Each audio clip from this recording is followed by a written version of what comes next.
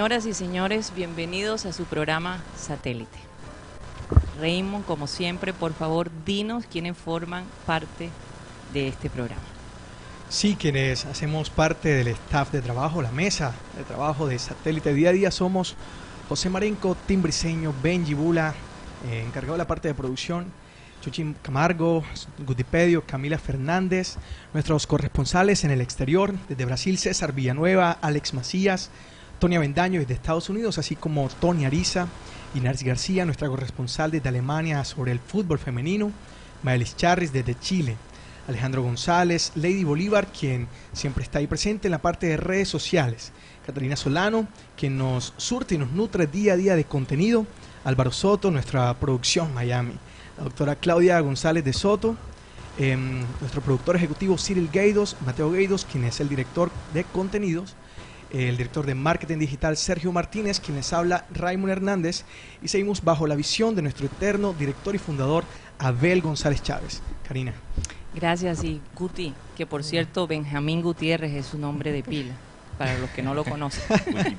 Dinos los padrinos y las madrinas de este programa. Doña Cindy Dueñas, Karina Sanjuanelo, Martica Gómez, Alex Hernández, Alvarito Orozco, el José Mayor Mañe Barrio, Winston Sánchez y Sarita y su progenitora o señora madre.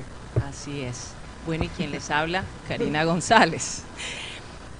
¿Se dan cuenta por qué es que yo tengo que pedir ayuda para leer toda la gente que forma parte de, de este programa? Es que es demasiado. Bueno, y en el día de hoy eh, estaba leyendo sobre, sobre esta niña, ella se llama Greta Thunberg, y es una joven sueca que se ha convertido a una temprana edad en un símbolo de activismo eco- ecologista mundial con tan solo 16 años. Catalina, dinos una pequeña reseña de lo que esta niña de los de 16 años está haciendo en el mundo. Bueno, sí, Karina. Catalina Gre- Solano. Greta Thunberg empezó esta revolución ecológica desde hace muchos años, de hecho desde el 2014, pero no fue sino hasta el 2018 donde su nombre empezó a ser reconocido a nivel mundial, porque fue cuando se paró frente al Parlamento Europeo hablándole a más de 200 líderes políticos, hablándoles de tú a tú y diciéndoles y haciéndoles saber la inoperancia de esto sobre las malas prácticas y digamos también eh, su inoperancia contra todo lo que está sucediendo en el cambio climático y ellos no están haciendo absolutamente nada y entonces su huelga es qué están haciendo y, y qué le están dejando a las, a las futuras generaciones porque ella dice que tiene miedo de qué, le, qué viene para sus hijos. Así es. Y, y lo curioso es que esta niña no solo está promoviendo un cambio ¿no? frente a la actitud del reciclaje, de, de- de verdaderamente cuidar nuestro mundo, sino que ella lo vive. Ella en este momento no come ningún tipo de, de- de- de- de- de carne de animal, ni siquiera de sus derivados. En inglés sería vegan, en español sería Vegano. vegano. Sí. Y sus padres, quien por cierto su papá es actor en Suecia y su mamá es cantante de ópera, han básicamente abandonado su trabajo para apoyar a su pequeña hija, que sufre de este síndrome que mucha gente puede sentirse bastante familiar porque Messi lo sufre también, eh, Asperger. Y, y ella contaba que le daba miedo pararse enfrente y hablar.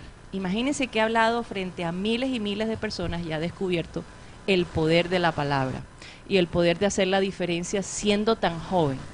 Entonces ayer relacionando un poco lo que Mateo decía de cómo algunos profesionales del fútbol no han hecho nada para promover a la gente joven que está tratando de, de, as- de- de llevar un nombre ¿no? en el fútbol colombiano, que están por ahí mamando gallo con el Instagram, que no, no realmente están haciendo una obra que ayude a los nuevos eh, valores ¿no? de- de- del fútbol a impulsarse y a llevar una carrera hasta cierto punto saludable. Y después me pongo a pensar cómo una niña de 16 años hace una diferencia y cómo eh, el técnico del junior a sus, no sé, 60 y pico de años, no, no- no sé, eh, no ha podido hacer una diferencia teniendo un liderazgo en sus manos. He visto en los comentarios que la gente ya le está diciendo el comesaña al terco. Ya, ya pegó Ah, eso del, del lunes. Fíjate. comesaña al terco. Ni que nos los hubiéramos propuesto. Comesaña 71 años. 71 Se- años. Sí. 71 años. Sí, yo creo que, eh, yo sé que mi papá les había hablado de eso, de que estoy escribiendo un libro sobre las suegras y yo, yo, yo creo que yo tendría que comparar a, a Comesaña como, como una suegra pesada, de esas suegras que, que por más que tú y lo intentas no logras conquistarla, no sí, sé. Sí, que joden bastante. Después de vez en cuando te traen un pudín así chévere o un regalo así costoso, pero así cada dos años, y pero los restos de los días... Son eh, difíciles, te hacen la vida de cuadritos, así, así es. Entonces, pues, ojalá que Comesaña no se vuelva una suegra difícil. Una suegra. Hoy Bueno, y hoy juega el Junior de Barranquilla aquí en nuestra ciudad contra Cali. Cuéntenos un poquito cómo está el ambiente. ¿Será que la gente está animada en ir al estadio después de que ganamos? Bueno, no. Vamos a ver. Yo, yo he visto bastante comentarios en las redes diciendo vamos a tener fe. O sea, son los dos extremos. Ajá. O sea, ya la gente de, de verdad tomó, creo que el comentario de Comesaña en serio, que... eh, y, Tenemos a alguien ahí llamando. ¿Quién eso. tenemos ahí? José Marenco. ah, Qué bueno. Siempre nos alegramos cuando José Marenco aparece. bueno. eh, especialmente que en los comentarios siempre están pidiendo a Marenco, Marenco, Oye, Marenco. Entonces, sí, sí, si Marenco sí. no está, nosotros nos quedamos con, los- con los comentarios del oyente. Sí, sí, sí, es verdad. Ya está al aire, Marenco. Sí. Hola, Marenco, ¿cómo estás? Buenas tardes. ¿Cómo están? Bien, bien. escuchan? Sí, sí, Sí, sí. te sí, escuchamos. sí. Marenco, ¿cómo ves Ok. el partido de hoy? Disculpen si, si se mete de alguna vez el, el viento, que es el abanico. Ok. Está Hace bien. mucho, cal- hace Oye, mucho Marenco, calor. yo no sé si tú sabes, pero mañana el el Electricaribe va a suspender en varios barrios de Barranquilla la luz. Estoy un poquito preocupada. Porque con estos No, pero calores. es que ellos... eh, bueno, eso, eso, es, eso es porque lo están anunciando. Pero aquí, en el sector que yo vivo, todos los días se va. Sí, todos los días se va, pero yo no sé, creo que están anunciando un apagón un poquito más severo, ¿no, Catalina? Algo así Sí, dijeron. sí. Mañana el circuito de los Nogales se va la luz. Este es, eh, va a ser desde las 6 de la mañana hasta la 1 de la tarde en la calle 87 entre carreras 42B y 42B1. Uf, Sí. mala suerte para ese grupo. Eh, Eso es un atentado contra la salud del pueblo. Sí, Pues sí, es verdad. fuerte. A- Aquí, el calor extremo que hay aquí por estos días. Es- y es te brutal. quitan la luz. A- ayer, por ejemplo, se fue, se fue dos veces aquí en la, no- en la noche, No. pero, pero y diríamos que mejoraron un poquito, porque los días anteriores, desde el viernes, se está yendo tres veces en la noche. Uy, no me puedo Sí, imaginar imagínate. eso. Es que, como digo, es como lo de Electric Caribe, son como los que venden drogas. O sea, eh, te, te crean esa dependencia para después quitarlo. Y después te quedas ahí sin nada. No, es que como decíamos en el programa anterior, tenemos que aprender a vivir sin el aire acondicionado. Sí. No sé cómo, no sé cómo, pero hay que hacerlo. No, no, y, lo peor, y lo peor es que el valor del recibo no baja. No Sí, baja, no baja. al contrario. Sube Menos luz, más cobro. Esa Sí, como que es bueno. el eslogan de ellos. Pero yo creo que eso es un reto para los dirigentes del, del país. Sí. En este caso, los lo, lo de la costa, porque Sí. esta empresa funciona en toda la costa. Pero es que ya hasta cuándo la gente va a aguantar. El, el- el servicio ineficiente, pésimo Sí. y costoso. Entonces, Bueno, es que no podemos veces- decir que es costoso. Imagínate El más que ya- barato caro, del país. Caro, caro, caro. No, ni siquiera. Resulta que la del Ca- Electricaribe, eh, el costo es el más barato del país. El problema no es ese. El problema es que con- nosotros verdaderamente consumimos mucha Mucho energía. más, obviamente. ¿Ves? Entonces, eh, es por eso que nos tienen en, en sus manos, ¿no? Por decirlo así. No, pero yo no creo que, que el kilovatio aquí sea más, más económico que en Bogotá o Medellín. Lo es. Imagínate que si lo investigamos, Sí, María. lo buscamos. Te invito a que lo hagas. Yo quería que fuera lo contrario, pero no pude. Lo es. O yo sea, creo, que, hay- eh, yo eh, creo que ustedes le metieron un patuque con esas cifras. bueno, sería eh, como... mira, es, es costoso para lo que te dan. Sí, es costoso Sí. para lo que recibes, Sí, mira, obviamente. yo tuve una experiencia en el año 98. eh, eh, había ah, un, un espectáculo que montó Dan King Sí. en el American Airlines Arena. Ajá. Mm. Eran cinco, pelea- eran cinco peleas de campeonato mundial, que incluía un combate de un colombiano, Ener Julio contra Randall Bailey, que era el campeón eh, estadounidense de la AMB. Ajá. Y entonces yo fui a cubrir especialmente la pelea del colombiano, Ener Julio. Ajá. Pero eran cinco combates, incluyendo una de Verdad, se nos fue. un combate de Trinidad. Se está cortando, Ok. Mare. Suena como Yeito. ahí. que suena como Yeito. No, ni siquiera. Se cortó un Se poquito. está pa' cortando ver. un poquito. Vamos a ver si, Mm. si regresó la Sí, señal. puede que sea internet. ¿no? A ver. Bueno, vamos Sí. a colgar y te vamos a llamar de vuelta, Marenco. Ahora te llamamos, Marico, no te vayas. Bueno, Tú estabas, mientras viene Marengo, tú estabas hablando de, Sí, bueno. Junior Cali. no sé. Yo estaba viendo el partido de. Anoche vi lo de Medellín, Once Caldas. Un poquito abur- aburrido y me estaba durmiendo. Entonces, y también. Pero tú sabes que en- viendo el Nacional, que también vi el gol de, de Harlan contra, contra ta- también el ¿verdad? Él, me- a- él ha metido ahora dos goles de seguido. Y Harlan veo que, que está jugando finalmente como el jugador de 20 millones, como siempre eh, le llamaba mi, mi abuelo. Finalmente se ve la calidad de él. Y era, para mí era todo psicológico. Todo, está jugando con una confianza. No sé qué hicieron Nacional Que hizo clic. que hizo que hicieron para que, quizás finalmente irse de, de- y ya no tener que ver a Comesaña más ya es suficiente para darle esa confianza pero Oye, yo les hago una pregunta a pero le ustedes. está jugando el, o sea, no Ah, y Nacional juega, juega más chévere cuando pierden que el Junior cuando ganamos Pero no, sol, no solo fue Nacional, no solo es Harlan, es Vladimir. bueno, bueno, tenía es Michael Rangel. Exacto, Son jugadores exacto. que Es un equipo completo. Que no dieron, o que no dieron, que no dieron confianza aquí en Barranquilla y están haciéndolo en, en otros, en otros equipos.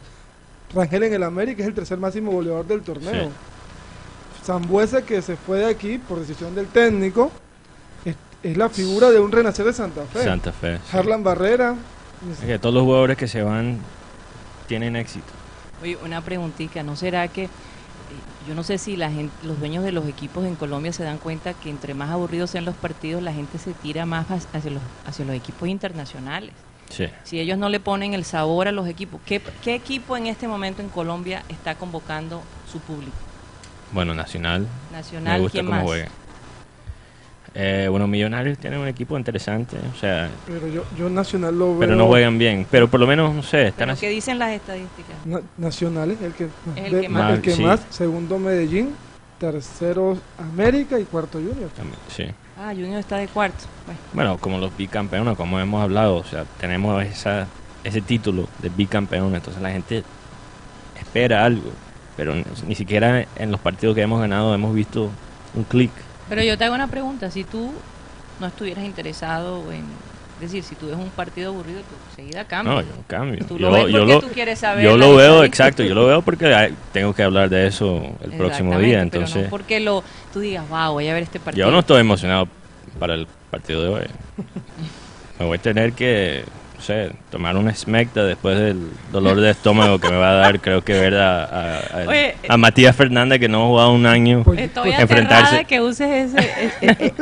Cada vez que veníamos de Estados Unidos, eh, la gente de aquí nos decía, tienes que tomar smecta, Smecta. porque el cambio de la comida, claro, Sí, el nos agua creaba... ya nos acostumbramos y ahora smecta es parte de nuestra... Nuestra vida. Botiquín. Sí. Nuestro botiquín, ¿no? Entonces, me llama la atención. Sí. Entonces, bueno, Guti iba, nos iba a contar Sí. un jugador en Cali que nos puede hacer daño. Bueno, Nos yo creo que avisan, por favor, creo que cual- Marenco esté de creo, creo que hasta el arquero de, de Cali no puede hacer daño en este momento. Pero di- dinos, eh, mu- muéstranos en, en Football Manager, Guti, ¿quién, quién tú crees que puede ser la diferencia ah, para Cali en, en este partido. Cuando llegó a Colombia, mucha gente, comentaristas de Cali, dijeron, Juan Ignacio Dinero. Mm. Vienes, a, vienes a robar dinero. Te lo digo así, sin, se burlaron de dinero, se han burlado de jugadores que vienen de, de fuera del país. Dicen que, porque, por ejemplo, vino un venezolano, Aristeguieta, y decían, ese es el gato de la película. Y entonces cuando Aristeguié y el señor Dineno empezaron a hacer goles, ah, yo te lo dije. Bueno, pues yo les digo una cosa, yo empecé a ver a Dineno desde el Barcelona de Guayaquil, marcó 24 goles en 32 partidos, es un, Wow. es un goleador. Y, eh, y tiene un, un punto muy importante que se llama la serenidad. Él tiene 3 en serenidad y en sacrificio 16. Y, el- y el técnico, Pusineri, que, el que, que no va a poder dirigir el partido, Claro. dijo, me pasó como cuando el ratero lo, roba al ladrón y al que acusan es al que, se, al que le robaron. Así Ayer pasó. hablábamos de eso, precisamente. Bueno, no sé. Yo sí creo que él dijo, mira, tampoco le quiero echar toda la culpa a Comesaña. Yo sí creo que Algo le dijo. eh, algo le dijo. Por, por, por alguna razón también él está sancionado. Ah, Y- él también está sancionado. Sí, dos semanas, no tanto como Comesaña. Algo tuvo que haberle dicho. Sí, ¿Cuántos partidos? ¿Es por partido o semana? Por semanas. Por semana. Y- Su papá siempre decía que cuando, bueno, sé, creo que son los argentinos, Sí. les decían una palabra específica, era el insulto más grande. sí, quién sabe qué le dijo. Algo No lo quiero decir al aire. Le corrió la madre. No, ni siquiera. No sé, se podrá decir Bueno, al, al aire. ¿Sabe qué? Vamos a tener que... Estamos en internet. Vamos a tener que... Ponle No, pitico. es- eso, Yo- eso no, no, yo no me atrevo a decir la palabra. Pero Guti, sí, estamos en digital. Ponle el pitico.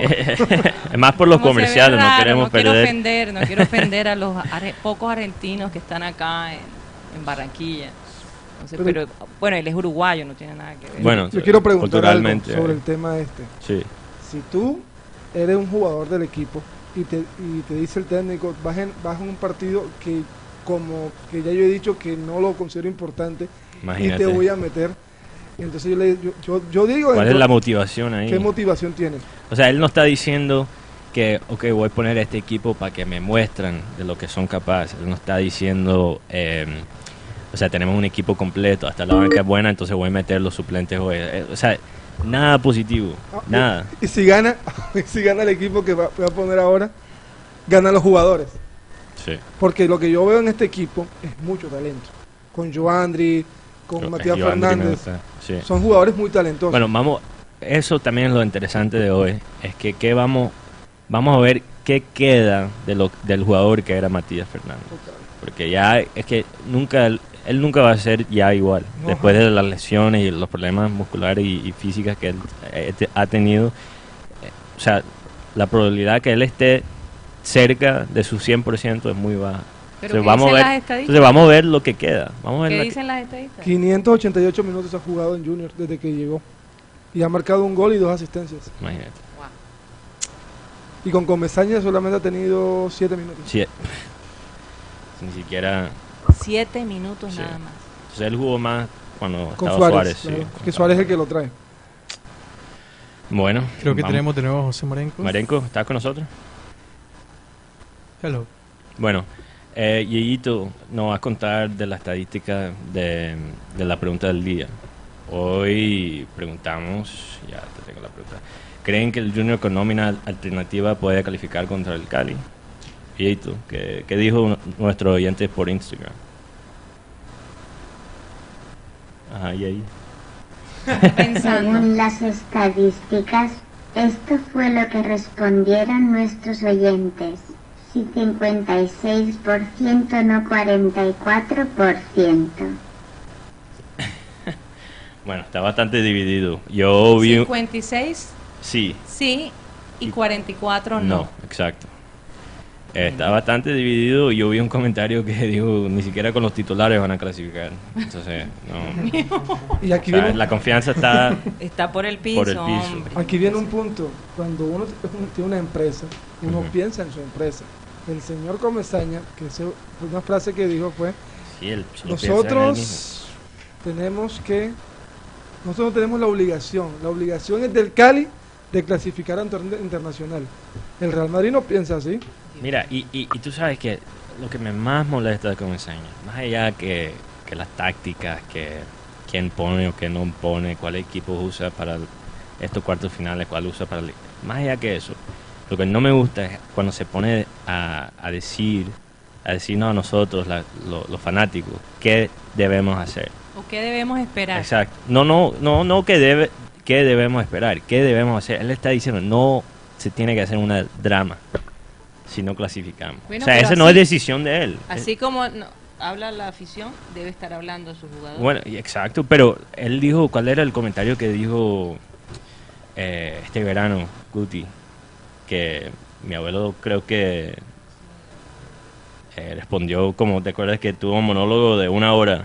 ¿Cuál era, cuál era el comentario que él dijo? También era, era algo muy similar, que básicamente nos estaba diciendo que, que podíamos... Oh, que éramos... Eh, Éramos brutos. unos imbéciles. Sí, imbéciles, Oh, sí, imbéciles por, por, por cuestionar sus decisiones. Sí. O sea, por acabar un dijo así a jugador. la- a la- por acabar un jugador. Eso, eso fue lo que dijo. sí, o sea, a la afición. Claro, que él no- aclaró que no era contra la afición. De- pero después, después lo Después volvió a del hacer. debate. eh, después de que todo el mundo le dio duro, eh, eso es lo que él dijo. Hay un cortocircuito en el equipo, Sí. en- entre los técnicos, porque mientras Comesaña dice que no, hay- no hay que hacer drama, Peñalosa dice que vamos a salir con todo por la remontada. Entonces, ay, Dios mío, no sé. No sé, no sé qué vamos a ver hoy. Hola muchachos. Ahí está Marenco. Siempre cañón, Siempre cañón. Mare. Así como No, decía es que este- estas cosas de la cibernética y Sí, a veces la dan duro, sí. No es que uno cada día se da cuenta de cosas que van que van ocurriendo, cosas nuevas. Bueno, para mí esto es nuevo. Yo estaba trabajando, estaba conectado con ustedes Mm. eh, por el computador, Ah, Sky. pero pero a la vez tenía el teléfono al lado que también tiene el Sky. Entonces pienso yo que al haber dos eh, dispositivos abiertos con la Ah. misma cuenta hu- hubo una saturación. Creo. Sí, que del, sí. Del, del internet, claro que sí. Así claro sonó, que sí, así sonó. Claro que Claro, entonces, bueno, a- y ahora que me conecté de nuevo por el computador me aparecía que los que el micrófono no está conectado. Ahora tengo que arreglar ese problema. Entonces, hacerlo por el por el por el por el teléfono. sí. Sí. Estoy ahora vía teléfono, celular. Les estaba contando, no sé, ahí cuando se perdió la conexión. Sí, lo de Don King. En el 98 estuve, por cierto que me fue muy bien en esa, en esa ocasión, ya les contaré. Eh, bueno, yo llegué ahí, a es- ese, ese sitio, el American Airlines Arena, queda ahí cerca del downtown de Miami, por Key Biscayne. Y el hotel que Don King eligió para, para los boxeadores queda como a dos cuadras de, de, de- del American Airlines Arena, o sea que se podían ir a pie. ¿Por qué me fue bien? Porque cuando yo llego al aeropuerto de Miami, yo me comunico con Juan Carlos Devia, que era el, el- el manejador de, eh, de Ener Julio, el colombiano, el boxeador, para preguntarle cómo estaba la cosa, en fin, con la- las acreditaciones, aunque yo había mandado la carta de, de acreditación para la pelea. Y entonces Juan Carlos me dice, vente para acá, para el hotel. Eh, ¿Y qué voy a hacer allá? Vente que te tengo un cuarto. ¿Cómo así? es que eh, Álvaro Mercado, que era el entrenador de, de Ener Julio, no pudo viajar porque no le dieron la visa. Entonces, pero ya el cuarto estaba apartado por Don King, porque se le había enviado la lista de, de- de la gente de Colombia que iba a ir eh, en- oficialmente para la pelea, ¿no? Claro. Entonces ya el cuarto estaba, estaba pagado, cancelado por Don King, con, con, con todos los servicios, o sea, comida, eh, desayuno, almuerzo y comida. Bueno, y entonces me dijo Juan Carlos, ese cuarto se va a perder ahí, va a estar solo. Entonces, si va a estar solo, úsalo tú. Wow. Estaba en un cuarto pagado por Tom King. ¿Qué es esto? Señor, Tremenda yo estuve- anécdota. Yo estuve, yo estuve esa vez, eso fue en el mes de julio, porque la pelea fue el día 22 de julio, recuerdo yo. Y yo llegué a Miami 20 de julio, o sea, día de la independencia de Colombia. Y bueno, me fui para allá. Al día siguiente, o creo que el mismo día, con otros periodistas que estaban por allí, nos fuimos a conocer el American Airlines Arena. Vimos ese portento de Coliseo. Ahí al lado quedaba el, ahí mismo pegado al, al American Airlines Arena quedaba el restaurante Bongo de, De de Gloria Estefan. Estefan, sí. Sí. Y Sí. Emilio. sí. Bueno, correcto. Entonces, yo, nosotros entramos al- a una cancha de entrenamiento de básquetbol, está ahí, está ahí pegadita al, coliseo, Sí. o sea, hace parte del coliseo, Sí. es una cancha de entrenamiento. Y, y estaban los boxeadores entrenando ahí. Es una cancha de entrenamiento para basquetbol, pero la habilitaron para que los boxeadores pudieran hacer su trabajo. Y yo me, me sorprendí cuando vi que ese recinto estaba con aire acondicionado. Un, recinto de como, de- yo calculo que son como 70 metros por 50 más o menos. Ajá. Ok. Bueno, yo, yo dije, bueno, aquí a los boxeadores le están dando comodidad, le- los han puesto con aire acondicionado y todo eso. Al rato yo dije, bueno, quiero conocer dónde es que juega el Miami Heat. Y alguien me dijo, no, entra por aquí y vas a conocer. Y Eso entramos, era la época de Alonso Morning, ¿verdad? En año 98. 98, Sí. sí. Bueno, año 98. Y yo cuando entro ahí, dije, estos gringos son descuidados. estos gringos no les pasa No, es que los Sí. de Miami son Sí, descuidados. Es muy diferente, es muy diferente. No, pero escúchame, ¿por qué pensé eso? No había nadie, no había nadie, ni una sola persona ahí. No había entrenamiento, no había juego, no había ningún espectador. El único que, que estaba ahí era yo y no sé quién fue el otro que me acompañó. Y eso estaba con el aire acondicionado prendido. Yo decía, dejaron el aire acondicionado prendido y se les olvidó apagarlo. Eh, hablando de, de- del aire, aquí hay un comentario de Ro- Rodolfo Humberto Reyes Sierra. En Medellín, con lo que pagas la luz, aquí pagas todos los servicios saludos. Eso es lo que, eso es lo que yo estaba diciendo. Wow. Que aquí paga, paga- es muy costoso el, el- Bueno, tenemos el que valor de... va- tenemos que verificar entonces No, no, esa no. estadística. El, problema que nosotros tenemos aquí es que nosotros consumimos bastante. Sí. Entonces el consumo el es más consumo alto. es más alto eso- que en cualquier parte. O sea, es decir, el consumo en la costa, pero es por nuestro clima. Sí. Entonces no hay los suficientes... O sea, Eh, el, el rate, no sé cómo se dice eso. El, eh, ¿Cómo se diría como rate de pago? El, co- el, el costo, ¿será? Sí, el costo, pero entonces el costo es más alto, pero se paga más Se porque paga se más, usa. Entonces por el que- dispara, ah, dispara lo, Pero yo he estado en ciudades como Barranca Bermeja, que, es que hace más calor que aquí, Sí. muchísimo más calor que aquí. Pero qué tan grande Y- es Barranca Bermeja. Es tan no, grande como estoy hablando del Barranquilla. consumo de una persona, de una casa, Ah, no es tan alta. No, la, la energía en la costa es más alta que en cual- cualquier parte de la Colombia. población de aquí es bastante, ah, está creciendo a pasos agigantados. O sea, el consumo Bueno. es impresionante. Bueno, Vamos a entonces yo, yo decía, estos, yo decía, estos gringos son descuidados. Haber dejado el aire acondicionado prendido. si ahí no está jugando nadie, no hay, ni- no, no hay nada, eso estaba solito. Wow. Yo dije, ¿a qué se descuidaron? ¿Será que alguien se le olvidó bajar la palanca para apagar el aire? Imagínate cuánto consumirá todo este coliseo sin nadie y, y- y el aire acondicionado prendido. Y Y entonces, bueno, me quedé con esa idea. Yo dije los gringos son bobos. yo me quedé con esa idea. Y resulta que después, bueno, uno va aprendiendo, va preguntando. Y me dijeron, no, no, no, es que nunca apagan el aire. Eso siempre está prendido. Y dije, pero, pero ¿y por qué si ahí no había nada? No- nadie estaba jugando. No había ninguna persona. Me dice, no, porque es que Ah, aquí es así. El aire nunca se apaga. Pero yo dije, bueno, pero entonces tienen que pagar un, un- una montaña de dólares en, en- en el servicio. Y me dijeron, no, no. tienen no, aires bueno, inteligentes. paga- ¿Eh? Tienen a- a- aires de, de alta, ¿cómo se dice? De- que ahorran. ¿no? Eficaz, sí. Eficaces. Sí, correcto, pero uno piensa en eso, tener aires eficaces aquí y de cualquier forma el recibo te va a llegar alto. Claro, Así es. claro. No, no es, no es- O sea, te puedes ir del país y todavía te, te van a cobrar lo mismo. No, yo, yo ni les cuento por cuánto me vino el, el recibo de luz. Ella Ni me quiere echar cuento. toda la culpa. me Yo creo que desde que Mateo llegó la cosa empeoró. la- Si yo siempre Sí, estoy sí, pagando la... seguramente. No, no. Entre luz y agua, Mateo. No. Agua quizás. Luz, nada. Yo siempre estoy pendiente de eso.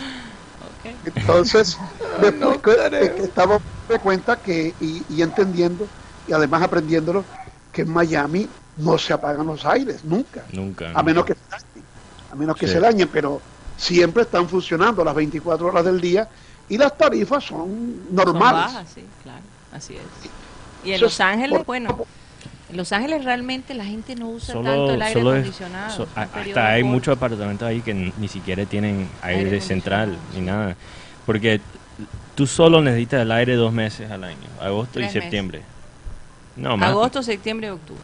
sí. Bueno, quizás al comienzo de octubre, depende del año, pero Sí. entonces, no, aquí es, todo es todo, todos los meses.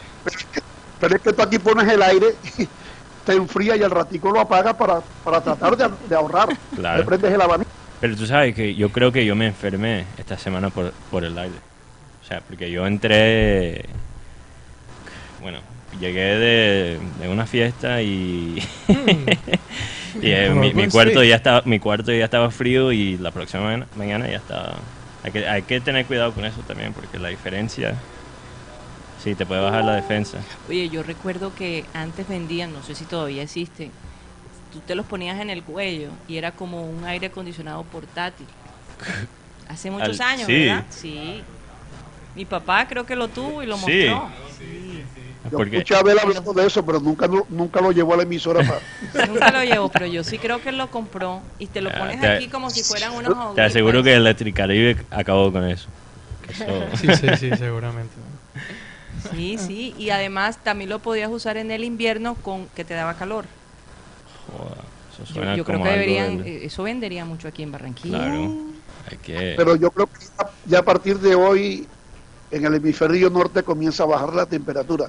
Sí. Ayer eh, mi hija que vive en España eh, se estaba comunicando con nosotros y, me- y nos dijo que ya ayer sintió frío. Sí. Mm. O sea, Delicioso frío, esa frío, etapa. no, no un frío extremo, pero ¿Dónde? en comparación con los días anteriores en España. Ah, en España. Es que el 21 de septiembre comienza oficialmente el otoño. Es por eso. Ya está entrando. Sí, pero-.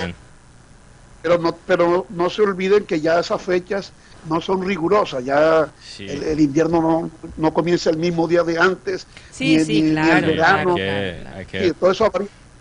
Incluso el otoño es un poco diferente. A veces eh, no da los colores que daba hace unos años atrás. Sí, no, es He- notado eso. Y es por el calentamiento de, de la Tierra. Que el presidente Trump dice que no es verdad, que no existe. que no existe. Dios. Claro, pero fíjate que ya le está cambiando algunas cosas.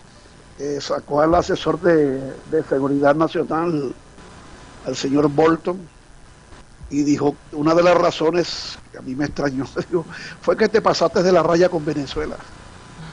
Sí, porque Bolton quería, estábamos hablando de, de eso esta semana, Bolton quería ya mandar el ejército para acá, para Colombia. O sea, un ejército completo para presionar a Venezuela. Incluso la presencia de Ivanka Trump, aunque ella vino de manera eh, privada, eso era fue como... más- Eso fue más simbólico. Sí, fue, es que, simbólico. sí. O sea, Trump todavía quiere ser, creo que agresivo con Venezuela, pero no llegar tampoco a un punto, porque ya como, yo creo que quizás en un mundo perfecto él quisiera ya invadir a Venezuela, pero lo que pasa es que como hay las elecciones el próximo año, y se, si se empieza una guerra con Venezuela, eso y su rating, su, su estadística de, ¿cómo se lo, de approval, de aprobación. de aprobación están bastante bajas ya. Entonces, imagínate, si él empieza una guerra, quizás no regresa para, eh, Para su segundo periodo. Sí, su segundo término. Podría afectar su segundo Sí, periodo. exacto.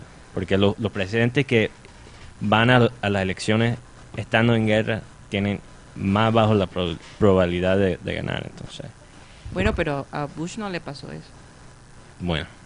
Bueno, bueno es diferente Pero- cuando empieza... pero- Pero eso fue un caso Sí. poco diferente, ¿no? Buenas tardes, Cyril. Ah, Buenas tenemos- tardes a todo el equipo y todos los oyentes. Estaba escuchando esa última parte de la conversación y, y yo pienso en el caso de Bush eh, fue mm, muy recién después de obviamente el ataque del 9-11 y entonces la, había el sentido y no habían ni matado a, a Bin Laden ni, ni capturado ni matado a la mayoría de las personas todavía de- que estaban involucradas. Entonces, por esa razón, eh, y yo creo que en ese momento Sí. eh, no, no tuvo tanto efecto, todo lo contrario. Haber liderado Sí, el le país ayudó, le ayudó. En, un, en un momento tan difícil ayudó. Pero en este momento hay mucha fatiga, hay fatiga de conflicto, hay fatiga por el conflicto en Afganistán, Sí. el conflicto, el, el fatiga de, de- de lo que pasó en Irak, eh, fatiga, eh, ¿sabes? Por, por discusiones y por conflicto por todos lados. Y, y ya la gente no quiere mandar sus hijos para, para esos conflictos. Entonces no le favorece en este momento, le favorece mostrar, tener un, Sí, digamos, aparentar ser fuerte, pero sin, sin realmente tener el conflicto mismo. Sí, lo bueno es que él, con lo de Ivanka, ahora ellos tienen imágenes que pueden usar para la campaña.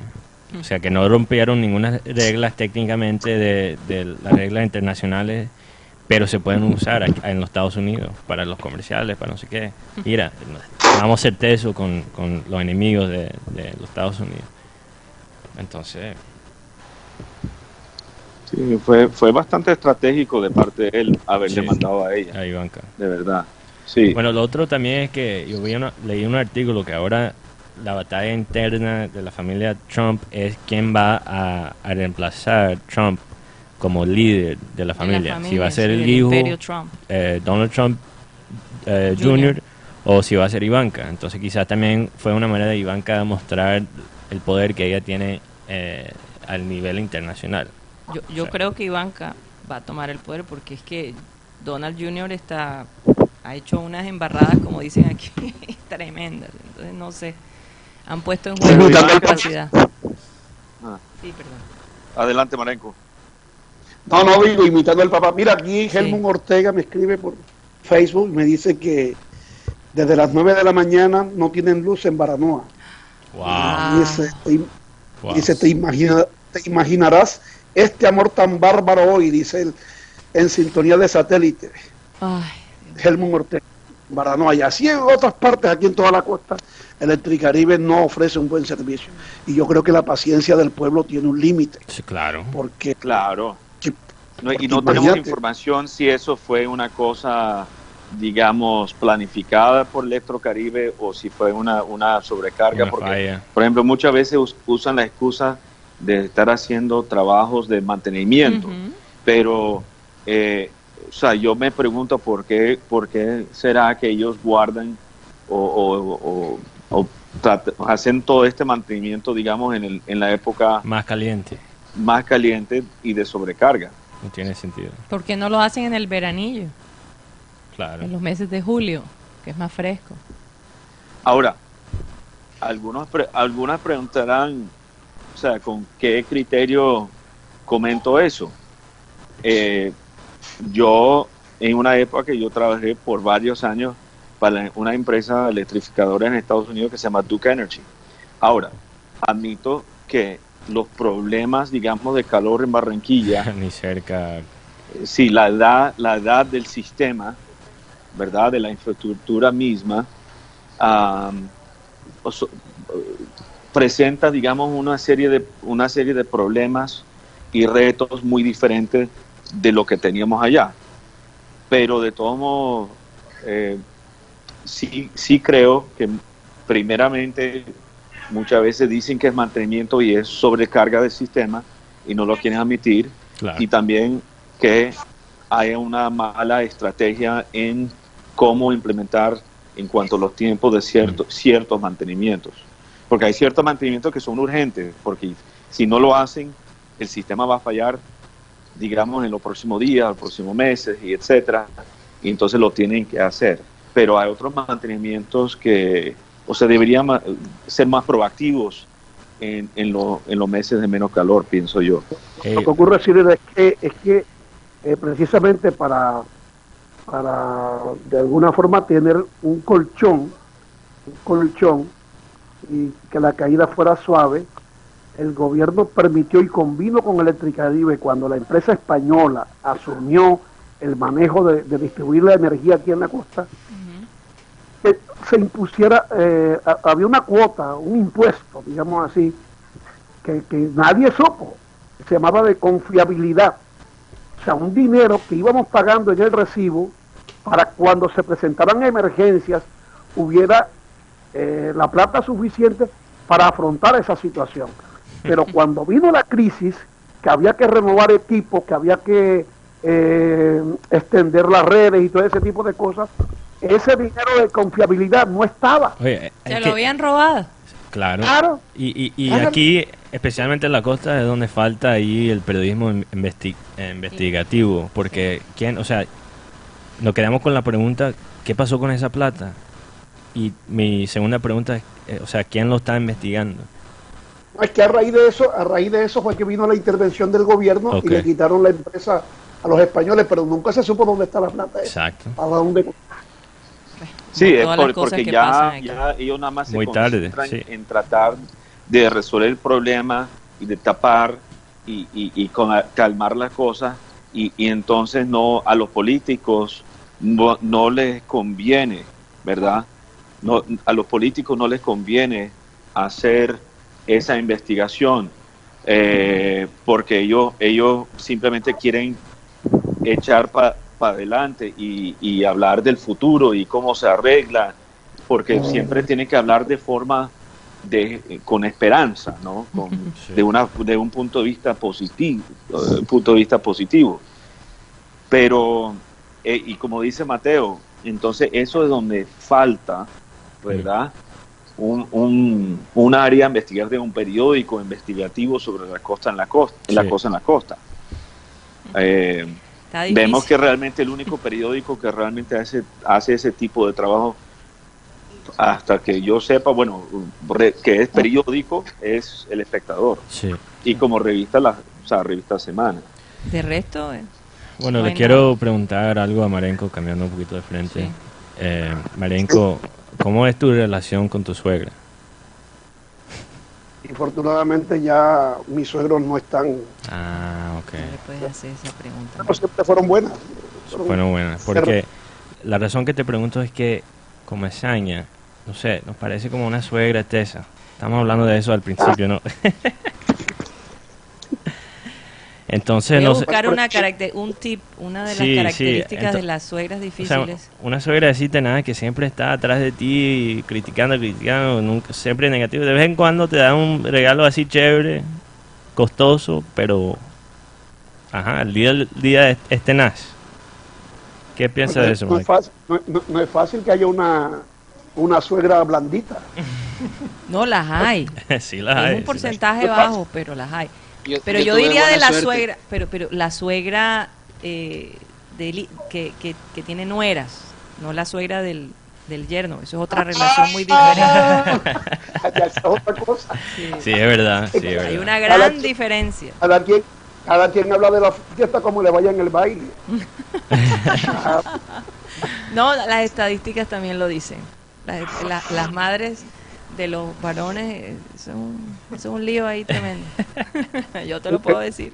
Pregúntale a Aníbal Velázquez que hizo una canción que se llama Luto Rojo dedicada a su suegra. Ah, bueno, Ojalá la busque, ojalá la busque Raymond ahí. Raymond, luto rojo. no porque nos bloquean. Bueno, por lo menos que encuentra la letra. Sí, para Ah, ver qué ¿lo dice la bloquean? letra. Sí, claro, claro. Cántala, Raymond. Vamos, Raymond, vamos. Tiene un truco ahí le hace un patuque a YouTube. ¿Cómo, ¿Cómo ves el partido de esta noche? Pero perdón, Tim iba a decir algo. Oh, Tim. No, creo que fue Tony. Tony, Oh, Fue Tony. Tony, Tony, No, era Tony. yo el que estoy aquí al aire. ¿Cómo Ah, estás? Perdón, Tony, Tony, hola. güey, bienvenido, bienvenido. disculpa Tony por eso. Espero de- que el-. No te preocupes. Espero que el calor no los esté agobiando como nos está agobiando aquí a California. Sí. Sí, es un verdadero orto. Tú sabes época que- es difícil allá. Ahí está. Ay, Está-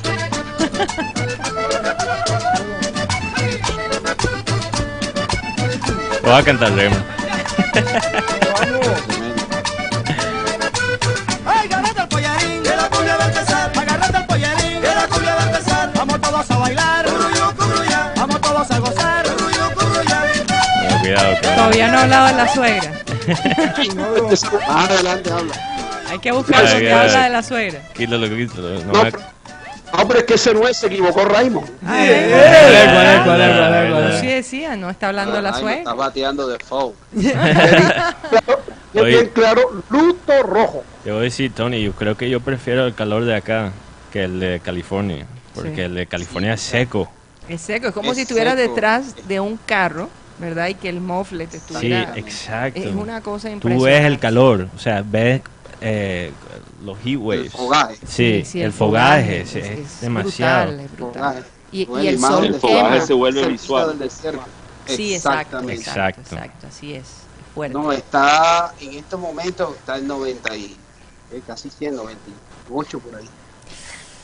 98, está, está bateando duro y mañana mañana anuncian que hay temperaturas por encima de los tres dígitos en No. Fahrenheit, que serían Y eso pone en 42, peligro los- 43 grados. eh, eh, Uf, incendios forestales comienzan, entonces eso es otro es otra es otra situación que tienen que vivir la gente en California, ¿no? es, tremendo. Están alerta de incendios forestales, hay mucha resequedad en, en el ambiente, demasiada falta de humedad. Eh, a pesar de que inició el año lloviendo, eh, las reservas de agua están, están en niveles normales, pero se está incentivando a la gente a que siga ahorrando Claro. por el temor de lo que viene, ¿no? La temporada de incendios, pero esperemos que no, no lleguemos a tanto. Ojalá Sí. que las cosas no sean tan difíciles este año. Incluso los restaurantes Tony limitan a la gente los vasos con agua que, que pueden tomar. En algunas áreas. Sí, en algunas En áreas. algunas áreas. Imagínate, hasta ese nivel se llega ya. Me llega. sí. Es fuerte. Y, no, y yo tuve que cambiar todo el sistema de irrigación de mi jardín porque la cuota por utilizar lo que llaman sprinkle, los regadores estos de aspersión, Sí. eh, a mí yo pagaba casi 140, 150 dólares en, en agua, Wow. solo en agua, por el jardín. Sí. Entonces, yo aprendí mucho de los israelíes y avión con eso y puse sistema de goteo y ahora estoy pagando lo normal, 50, 50 dólares. Wow. Pero Lo por lo que menos llaman tiene los, los, soaker, recursos. los soaker hoses. Sí. Exacto. Los Normal. hoses y los sistemas de goteo bajo tierra. Yo entierro las mangueras bajo tierra y, y ellas se encargan de llevarle el agua directamente a la raíz y Exacto. las plantas no sufren ningún tipo de problema. Eso es lo que siempre me ha llamado la atención de, por ejemplo, del área de Los Ángeles, que a pesar del calor y de la resequedad, hay, hay- flores, hay, hay Bueno, después Para la- después la sí, reci- eh, porque reciclan el agua. el ahí. agua, sí. Sí. No sé No, cómo- pero, pero, pero el, problema del, el problema del agua ya es serio, porque Sí. hace dos o tres años hubo una escasez quizás mayor que la de hoy y, y descubrieron a este hombre que hacía el papel de, de Magnum. Eh, Sí. Tom Ah. Tom Selleck. Sí, porque él tenía una finca, aguacate. una finca de aguacate. Lo Estaba, sancionaron. estaba robando agua para su finca de aguacate, imagínate. Ay, imagínate. Sí, Bueno, y- nosotros y- estábamos en Y California. yo que comía guacamole todos los días sentí una, una pena, o sea, todo, todo, lo, todo lo, lo, lo que, porque ahí, ahí es- en ese entonces era de moda el avocado toast. El to- eh, La tostada con el sí, aguacate tostada, como mantequilla. Eso era lo que era como... Hoy sigue de moda. To- Sigue de moda, sigue de moda, moda, pero sí, yo creo que después de esa historia de Tom Selleck la gente le bajó un poquito al avocado toast. Al aguacate. No, ahora están trayendo aguacate de allá de Colombia. Sí, bueno. No, incluso la mayoría de sí, aguacate claro. de todos modos ah, en California de todos modos entra por México de México, sí, Entonces, claro. No, es que han limitado la traída de aguacate de Sí, México, creo, porque sí. encontraron una bacteria y mucha gente no, no, no lo está consumiendo. Están consumiendo el, el de Colombia que viene con el rótulo de orgánico. No, y creo que también también lo bajaron por la pelea sobre eh, eh, El borde sí, el borde, exacto, el, bo- eh, de Trump, la, la, la, la, la pared, la pared sí, sí, en, claro, en el yo- borde. Entonces también bajaron el consumo de México también. ¿Sabes Esa pared vamos a ver si la van a construir de verdad. 6, 7 dólares por cuatro aguacates pequeñitos. Sí, yo sé. Eso duele. No es por nada, duele. Pero, en ese- pero aquí sí me ha dado en ese gusto. entonces en la-. Eh, en ese entonces también eh, en la época que, que comentó Marenco también iban con los helicópteros y sobrevolaban las casas de, de todas las diferentes estrellas de cine y música para ver quién estaba, quién tenía la granita completamente verde, Sí. la vecina perfectamente bien y todo para poder básicamente hacerlo pasar la pena que están consumiendo mientras todo el resto del estado pasaba, estaba pasando por esa sequía Uy, tan sí, yo me acuerdo. horrible. Cantidad de, de- de- de actores estuvieron Pero saben en escándalos. la tecnología ha logrado incluso eh, que la gente con mucho dinero tenga sus pastos verdes, Sí, es verdad. sin necesidad de, to- de tener por recoger el agua del sistema del acueducto. La forma en que lo hacen es que han comprado las unidades esas de condensación de agua atmosférica que funcionan también con paneles solares. Hay, hay plantas de esas que te producen en un día 50 litros de agua Wow. O sea, el y las almacenan en un tanque y con eso riegan las plantas. Les traen el aire, al aire les traen el agua. Y también genéticamente han formulado eh, nuevos tipos de gramas que resisten más y, y que requieren menos agua también. Exacto. Eh, eso son cosas que han hecho. Yo he visto unos desarrollos aquí. Yo fui a la casa de un señor que es, él es de Hawái. Un amigo me invitó a su casa y el tipo no paga agua. Él produce su propia agua. Wow. Autoconsumo. En ese sentido, en ese sentido aquí, eh, yo creo que tenemos un buen servicio de, de, de la AAA con Sí. el agua. Sí. Y no es, Sí, el agua en Barranquilla es muy barata. y no es tan Es barata y no sé, hace rato que no hay cortes de agua. Yo No, recuerdo no. que en una época lo hubo, hace muchos Sí, años. sí, el agua es constante y además, y, y como dijo Tony, barata. Bueno, barata no para nosotros, digamos que no es tan elevado el costo. Sí. Pero, Lo mismo que el gas, ¿no? Sí, bueno, el gas sí es casi regalado. sí. Pero Somos un hombre de gases del Caribe. Yo me baño cuando estoy aquí en la casa mínimo tres veces. sí. Sí, tres pero veces. entonces, o sea, sí, sí, yo también. Eso es algo que yo extraño de Barranquilla. Lo extraño mucho. En cambio, yo veía en Europa, en España, claro, yo llegué en una época en que hacía frío, Ajá. que había gente No, que es- salía de su casa sin bañarse. Y- Eh, eh, es que Bueno, no muy lejos, no muy lejos, lo hiciste, Marenco. En Marenco. Bogotá también lo hace. En Argentina también y en Boyacá también lo hacen. Ahí no se baña la gente, si no se baña una vez a la, a la semana o al mes, unas dos veces. Hombre. En Francia igual. Yo- Francia una también, amiga francesa-. Una amiga, una amiga francesa me dijo a mí que por qué me bañaba todos los días que si yo estaba enfermo.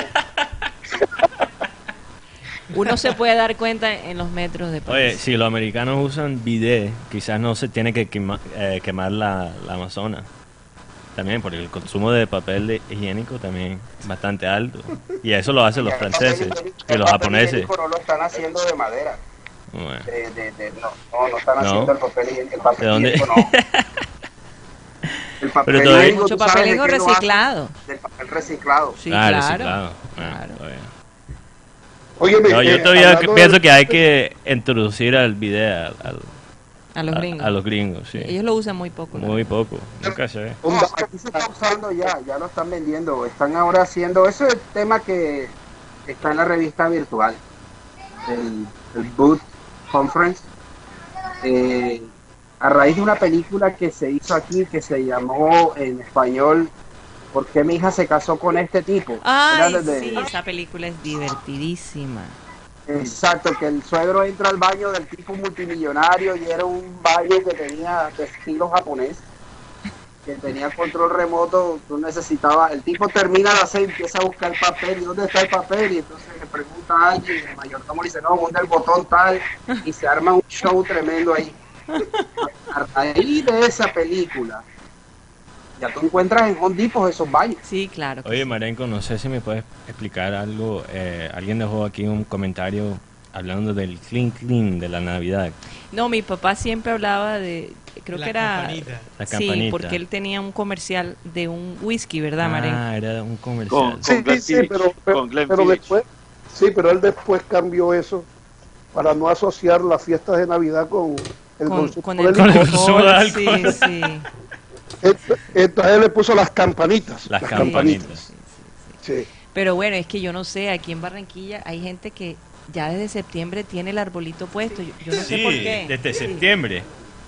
Ah, Después de Halloween, no, pero aquí en Barranquilla conozco gente que en septiembre ya ¿En tiene septiembre? la sí. Sí, Y nosotros quejándonos en Estados Unidos que Sí, la yo gente pensé en que- noviembre empieza a decorar y cómo así, apenas sale el Halloween, pum, entra. Bueno, también, como decía Alejandro, él está aquí con nosotros, ya, ya va a entrar al panel, pero eh, eh, esa es la canción, no, no, no, ok. Eh, pero lo que pasa es que los Estados Unidos tiene dos más, tiene Halloween y tiene Thanksgiving. Thanksgiving. Pero la gente Pero después aquí- de Halloween ya todo es Pero aquí, Navidad. sí, aquí Aquí no hay mucho antes de, de la Navidad. Sí, el, el Halloween aquí no. Hay la semana de Uribe. Ah, mira, escucha, desde septiembre. Aquí ya, aquí ya lo que se está anunciando es la celebración de eh, la fiesta de disfraces del 31. Sí, claro, claro, Halloween. Pero yo he notado que, no sé, en la ciudad de Barranquilla antes había más ambiente de Halloween. Eh, El año pasado noté, pero poca gente decora y eso. Yo no es que promueva tanto eso, sinceramente, pero porque me parece algo muy comercial. Y tiene un Sí, fondo no, medio Halloween. turbio, ¿no? Eh, El Halloween, detrás de todo eso. Pero, pero, pero bueno, mejor que no, que no, que no se emocionen Pero no tanto sé si ustedes han tenido la oportunidad de ir a los pueblos para esas fechas en las zonas del Atlántico, en los pueblitos y, y los corregimientos. Todavía es bonito ver que se celebran los días del angelito. Sí. Sí, el primero. Tú ves los niños que corren por la calle. Sí, eso es lindo. Yo lo vi hace como dos años, corren por la calle con sus bolsitas sin disfraces, llegando Sí. a cada ventana y cantando esa canción, la de Ángeles Somos, del cielo venimos, Es- etcétera, etcétera. Es que, que precisamente por eso yo decía que no me gustaba la fiesta de Halloween, porque Sí. es que a mí no me tocó. Cuando yo era un niño no, no había Halloween. Aquí eh, esto del, del Halloween se introdujo muy americano. a sí. Eso lo sí. introdujo aquí el, el, el Colombo americano, era la que, la que celebraba eso. Así es. Allí hacía una tremenda fiesta, hay una en la en 40 la, y, la sede, Tú la sabes, sede del Atlántico. eh, y entonces eso se fue extendiendo, extendiendo, y entonces, porque es que la fiesta de los angelitos era de niños, de los niños en, eh, pidiendo eh, en el día. En el día. sí. Correcto. Y le daban plata, ¿no? Siempre, me interesan los, eh, los días de fiesta americanos en otras partes. Por ejemplo, en Japón, la, la Navidad para ellos es excusa ir a comer Kentucky Fried Chicken. Oh, yes, exacto. Sí, en Eso Japón sí es curioso. lo es vi. curioso, sí. Su nombre de pico rico. Esa es la mejor manera de Esta celebrar. Navidad comen pico rico. Mira, mira, yo, yo, a veces a uno le cuentan Mateo. cosas. Mire, perdóname, Tony, a veces a uno le cuentan cosas o, o las lee y no las cree. Sí. Sí. Eh, Por ejemplo, aquí se hizo una vez un torneo de béisbol infantil suramericano. Vinieron eh, Brasil, vino Perú, vino Ecuador, Venezuela, Panamá, fin.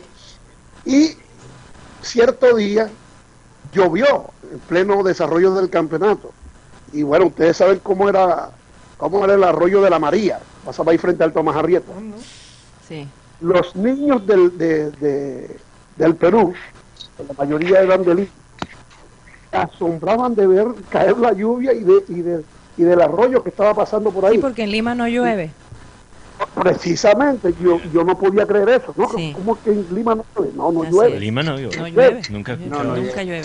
Y, y entonces, Es el clima. yo, por lo, por lo de, por lo de California, Sí. porque me dicen que ahí tampoco llueve mucho. Y, y- y cierto día estaban jugando los angelinos, en su estadio, todos los estadios de grandes ligas, exceptuando los que tienen techo, Sí. pero todos los estadios de grandes ligas tienen la, la, la carpa protectora del infield para cuando llueva.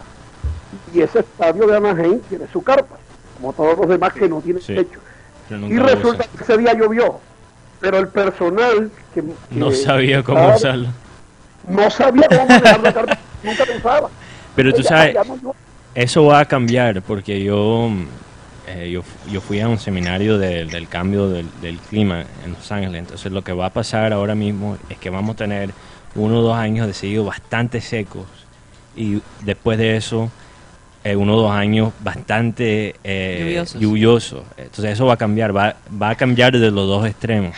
Entonces Tremendo, porque Entonces, subimos ese- también. ese en equipo va a eso. la- de la niña y el niño. el niño, pero eso niña- se va a aumentar todavía más. por, por el- los cambios en el clima. Sí, Entonces, eh, ese equipo tiene que aprender como...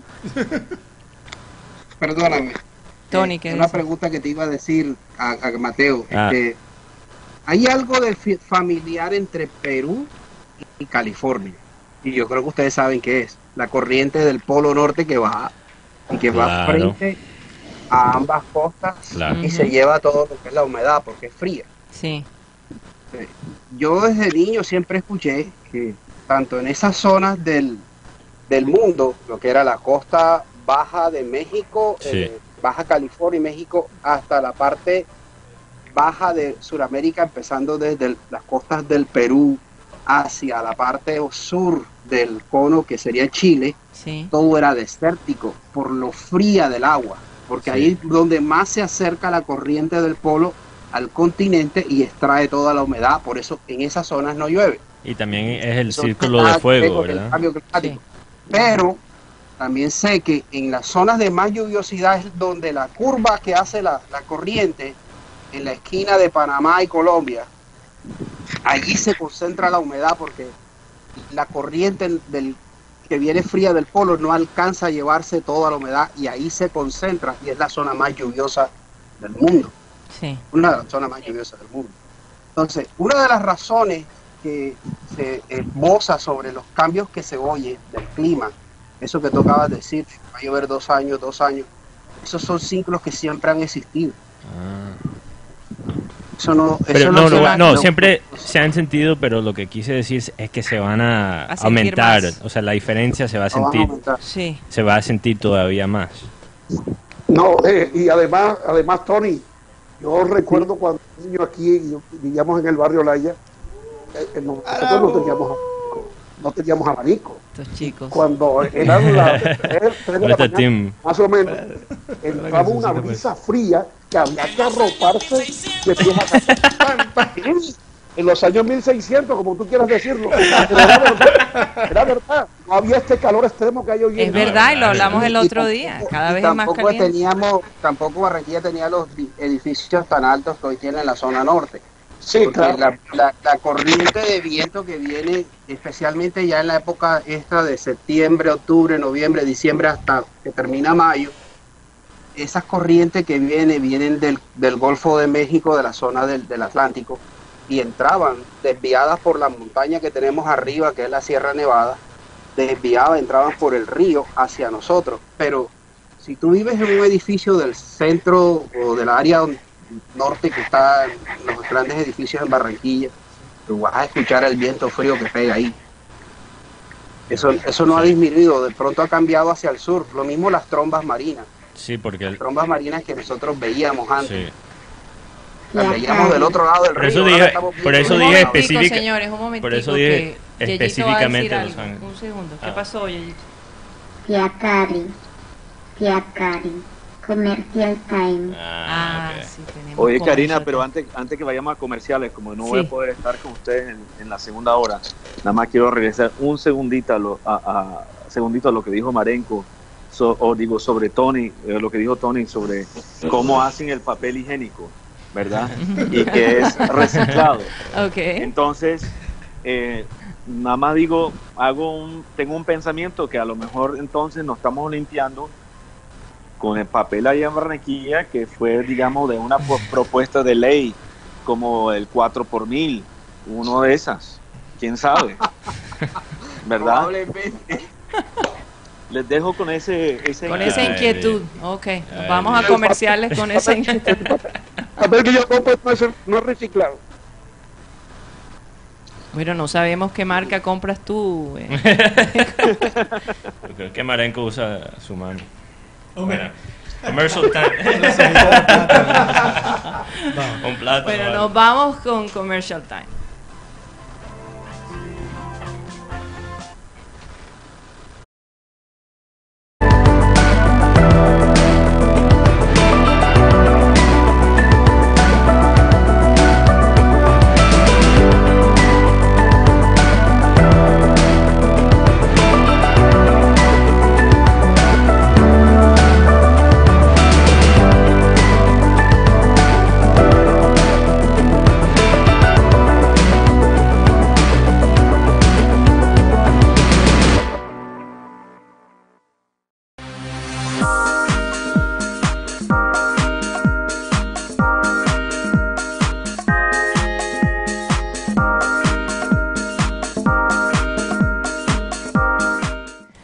Hola amigos, dentro de mi experiencia como terapeuta de pareja me he encontrado con casos de personas que quieren definitivamente mejorar su relación, quieren trabajar en ella, pero cuando vamos a las sesiones, cuando empezamos el proceso, no siguen las recomendaciones, no llevan a la acción aquello que en la teoría o aquello que han expresado que de verdad quieren lograr o quieren hacer. Es importante que cuando iniciemos un proceso de terapia de pareja se ponga en práctica todo lo que se habla en la sesión, es decir, todo aquello que la pareja debe implementar o debe hacer para mejorar su relación.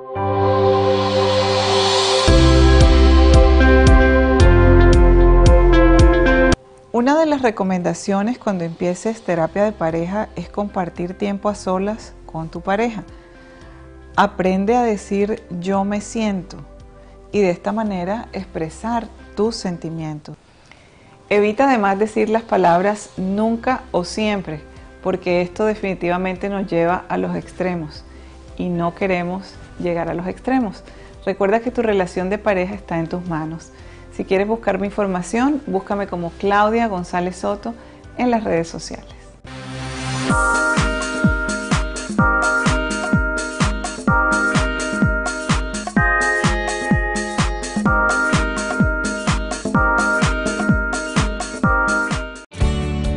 Inició el mes de amor y amistad. Prepárate para descuentos de locura en ropa y accesorios seleccionados. Este viernes 6 y sábado 7 de septiembre en Harley Davidson Barranquilla. No te lo puedes perder. Qué mejor regalo en amor y amistad que una prenda o accesorio Harley. Te esperamos en la carrera 51 número 7636. Sector Alto Prado.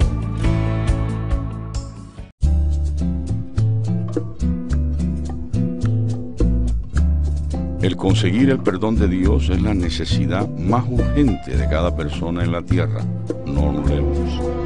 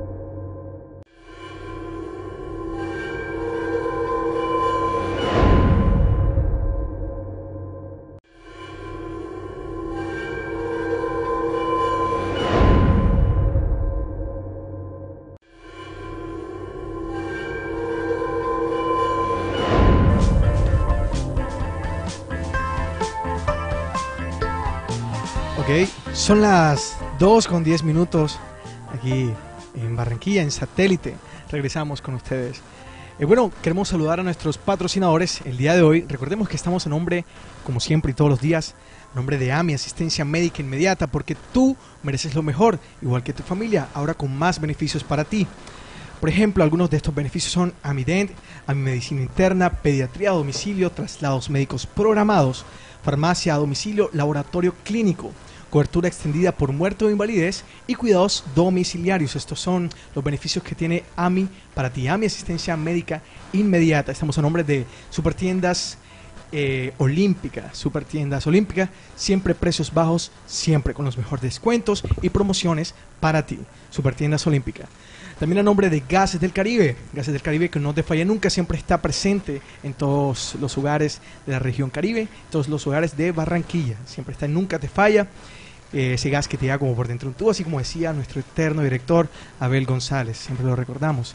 A nombre de CopyX, las mejores impresiones, diseño gráfico, copias, transcripciones, empastes y muchos servicios más. Toda esta parte digital que nos brinda CopyX.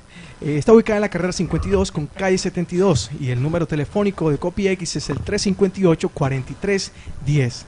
A nombre también de Headstrong Magazine, la revista virtual de actualidad, innovación, em, cosas curiosas, noticias. Bueno, la noticia de lo que hablábamos de Greta Thunberg eh, está allí. Ustedes pueden. Está mañana estará al aire. Mañana. Y pueden enterarse un poquito más de la vida de esta pequeña heroína. Sí, pueden buscarnos eh, vía web como Headstrong, o sea, como cabeza, cabeza fuerte, así en inglés, headstrongmag.com. Así es, Headstrong Magazine en internet. También a nombre de Pico Rico, el superpollo tierno y rico. Pueden llamar para sus domicilios al 385-1111. Pico Rico, el superpollo tierno y rico. También a nombre de Droguería La Economía, hoy jueves de economía, pagando con la TCO o con la tarjeta de crédito olímpica. Visita nuestras droguerías hoy jueves, paga con la TCO y ahorra el 20% de descuento en medicamentos seleccionados. Aprovecha, compra fácil y sin salir de casa a través de droguerialaeconomía.com y la Economía App, seleccionando el medio de pago, la tarjeta de crédito olímpica. Esto es en Droguería La Economía y terminamos con nuestro super patrocinador Harley Davidson, que se escucha en la motocicleta. ya, ya estaba que hacía el efecto sonoro yo con la boca. Harley Davidson, que tiene tienda física aquí en Barranquilla, que está ubicada en la carrera 51 con calle 76. Harley Davidson, ¿sabe algo curioso que estuve viendo en la página de Harley Davidson? Es un pequeño eslogan que tiene que dice como el sonido más fuerte que escucharás será el de tu corazón acelerando. Así es. Vaya. y Harley es verdad, Davidson. lo puedes escuchar cuando pasa por la calle, enseguida. Es decir, llama mucho la atención. A tres cuadras de distancia, no, lo, Sí. lo mejor es que te ves con estilos, te ves Sí. chévere. Y bueno, estas motocicletas que están súper de moda en esta ciudad, en Barranquilla. Bueno, 2 con 14 minutos, Karina. Hoy es un día un poco difícil, no sé. Me, me hace mucha falta mi padre hoy. Cuando las personas lo recuerdan con, con ciertas frases. ¿sí? No saben lo difícil que, que es la vida sin él. Pero bueno, seguimos adelante. Eh, hoy se celebra el Día Mundial de los Videojugadores, ¿no? Sí. Y para eso tenemos a la doctora Claudia, que nos va a hablar un poquito de, de- de esa afición que, que es controversial ¿no? para algunos padres. ¿no? Especialmente ahora mismo en los Estados Unidos con lo que está pasando con eh, las matanzas.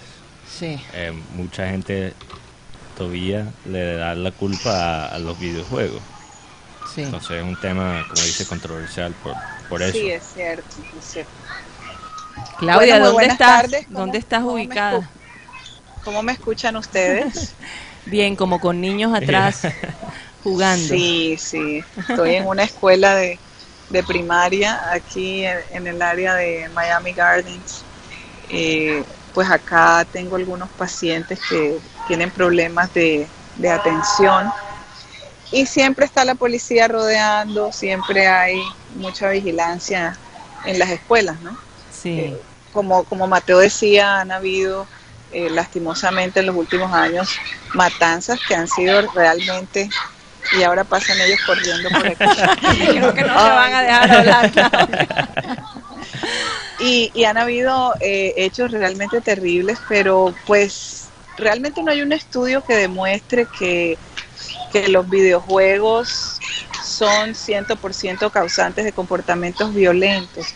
Lo que sí podemos ver es que un niño que pasa muchas horas frente a una consola de juegos, pues se pierde de muchas habilidades, se limita en sus habilidades sociales, se vuelve más introvertido, Sí. se vuelve más callado, tiende a aislarse mucho más y quizá eso puede afectar el hecho de que si es motivo de, de maltrato, de abuso, de bullying, pues no sea capaz de expresarlo, Claro. no sea capaz de desahogarse y eso puede conducirlo en un momento dado a, a querer hacer, eh, vengarse, a querer sacar toda esa rabia y, lo- y hacerlo de manera violenta. Entonces también mi pregunta es si es, son los videojuegos que están creando esas tendencias en los niños o es que los niños que ya tienen esa tendencia de ser más introvertidos son más es, eh, eh, eh, probable- como de, sí, son más probables de jugar. ida y vuelta, ¿no? Ah, ok. Hay- algo como de ida y vuelta, no, no pudiéramos decir aquí quién fue primero, pero sí es cierto que los videojuegos eh, limitan o, o hacen que los niños desarrollen menos sus habilidades sociales. Cuando tienes estas amistades en línea que no las pueden ver, que físicamente no pueden interactuar, pues obviamente no, no va a ser lo mismo que cuando realmente físicamente están en un grupo determinado, hablan, juegan, participan. sí, Porque cada niño tiene personalidades diferentes y, en la vida te va a tocar lidiar con gente con distintos temperamentos, con distintas formas de pensar. Pero y, entonces- y- y bueno, todas esas, eh, esas herramientas las aprendemos en, en la infancia, en la adolescencia. ¿Tú qué le sugieres En fin. a los padres, ¿no? que ya tienen esta situación, que sus hijos están adictos y no logran sacarlos de ese mundo? ¿no? ¿Qué, qué, qué sugerencias les das? ¿Cuál sería la, digamos, los pasos a seguir o si se necesita terapia, Sí. en fin, ¿qué, qué se puede hacer? Bueno, hay, hay, hay muchas opciones, en, en especial pasar tiempo con los hijos, sobre todo. Eh, hay padres Oh, se fue el sonido. que están tan ocupados que Que estamos perdiendo. Ahí estamos perdiendo Oh, sí, estamos perdiendo la... A ver cómo me escuchan ahora. Ahora sí, ahora sí, ahora sí. Ah, ahora sí, ok, entonces era el audífono. Y, y yo les decía que, que eh, compartir tiempo con los hijos, tratar de llevarlos un poco más a actividades físicas, a que, Claro. por ejemplo, se planeen paseos familiares más a menudo, Sí. salidas.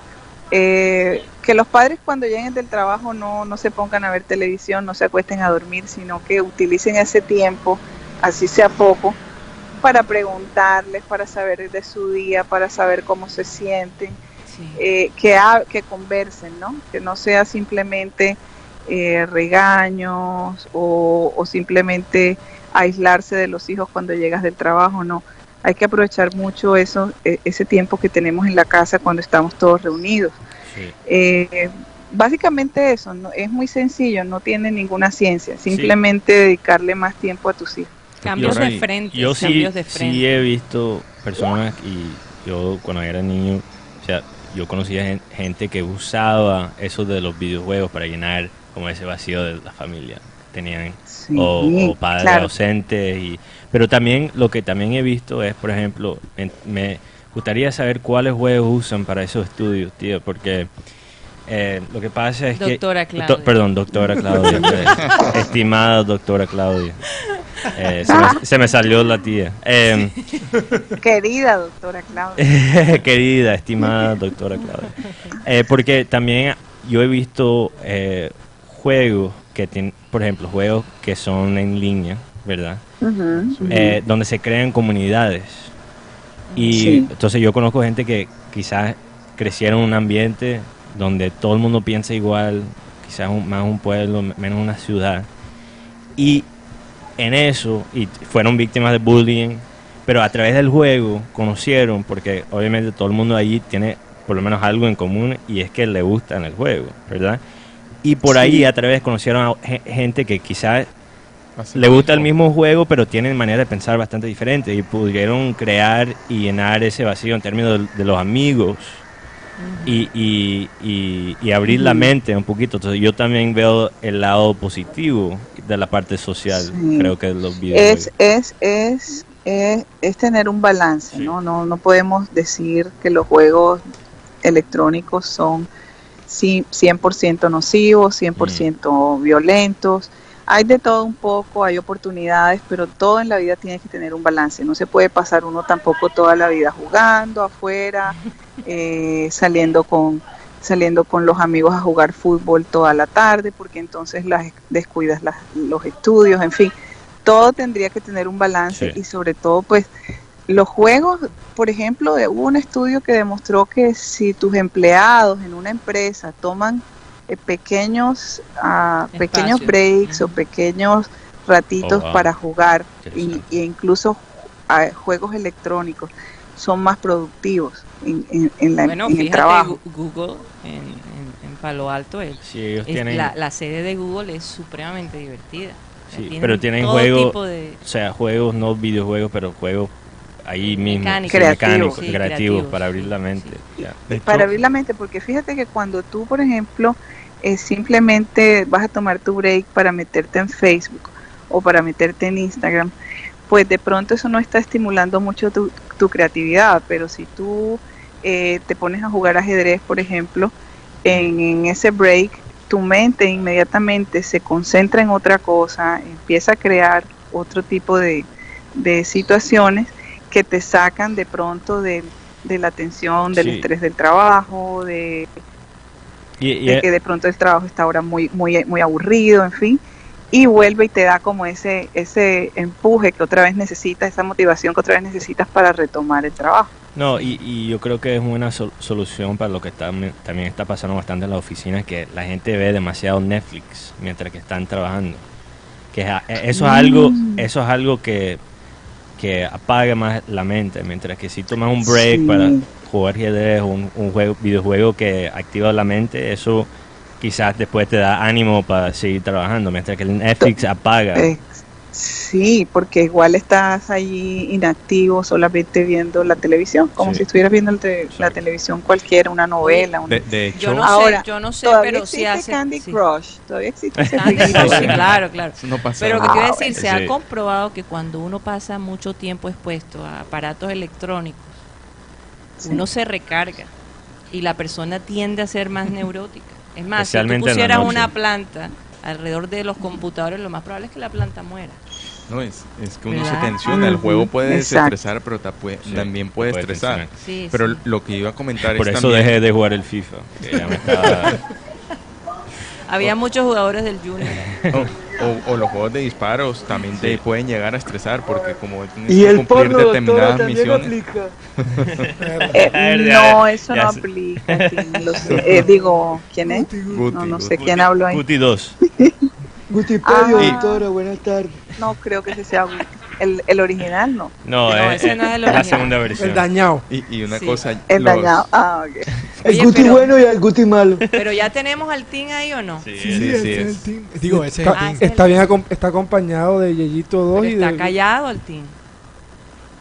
Tienes que decir Aquí. algo. ¿Cuál- Eh, ¿Cuáles sola- son tus solamente juegos? lo- Tim, ¿cuál, es, cuál es tu juego? ¿Cuál es tu juego electrónico favorito? Así como para cuando quieres desconectarte de tus problemas. Y para ver cuál es el de perfil del de esos líos amorosos. Sí, el perfil psicológico de Tim. Sí, ahí de una vez aprovecha Eh, clave. a mí me gusta mucho Guitar Hero. Ey. Yo soy Ah, de mira. Guitar Wow, Hero. todavía existe ese, ese juego. Sí, sí, de verdad. Sí, lo renovaron el año, hace como cuatro años y sacaron nueva y todo. Y ahora es live, ahora uno toca en escenarios y se mete como si entrara uno en TV a tocar sobre las canciones que están poniendo en el video musical. Está muy chévere, está muy chévere. Esa es mi forma de desconectarme. ¿Tú De dónde resto no- estás? Que yo no oigo unos pajaritos ahí Oh, oh. cantando. Estamos. Yo aquí, yo aquí en mi, ecológico en mi- en mi penthouse tengo unos dos pajaritos. Uno se llama London y el otro se llama Elon, como Elon Musk. Ah, Wow. London y. y una boa, ¿no? Adem- además de una boa así que se llama Osiris. ¿Estás hablando en ¿Se serio? llama qué? Osiris. Cyril. Bueno, y tiene su pequeño zoológico ahí en su casa. con La una boba se llama Cyril. No, no, no, en el La cara No, oculta de Tim Osiris. Osiris. Oh, Cyril. yo- Osiris, por Dios. a Osiris. Saludos a Osi. Pero Alejandro, ¿qué ibas a decir? Wow, yo, yo, yo Ah. creo que yo nunca iría a tu casa, tío, porque le tengo terror, terror a la serpiente, de verdad. A- Alejandro, Yo- Yo también, le, yo también le tengo horror a las culebras. Cada vez que veo una le abono 20 mil. ya, ya voy saliendo de la deuda. Yo, yo- Ah, bueno, por eso es que tienes una boa para diferenciarla de las culebras. Porque Sí, sí, sí, para no, El- el- para el no cogerle rabia. Él va rotando a los pajaritos. La boa es la que más se beneficia. Oye, pero ¿y cómo hace? Bueno, me imagino que tienes en un lugar bastante alto los pajaritos, porque la boa puede... Sí, puede están, están, es- cada una está en un lugar Se diferente de, de- comer. de la casa. De la casa. sí. Wow. Oye, pero para remarcar una cosa, Bueno, aquí en la- yo, aquí- ¿La boa considero que, sí, sigues. que los videojuegos también ayudan eh, una parte, una, la destreza motriz y la destreza eh, del idioma. O sea, porque, por ejemplo, Sí. eh, he conocido casos de, de, de- de gente, bueno, niños, incluso yo en algún momento llegué a aprender un poco del lenguaje inglés por la interacción con diferentes personas a través de, de videojuegos en línea. Claro que sí. Y, y, por ejemplo, ahora con la llegada de los drones también, eh, la facilidad que se le da a todos esas, a esos niños o personas que en algún momento tuvieron interacción con un mando, ya manejar un dron ahora mismo es mucho más fácil que si uno empezara de cero.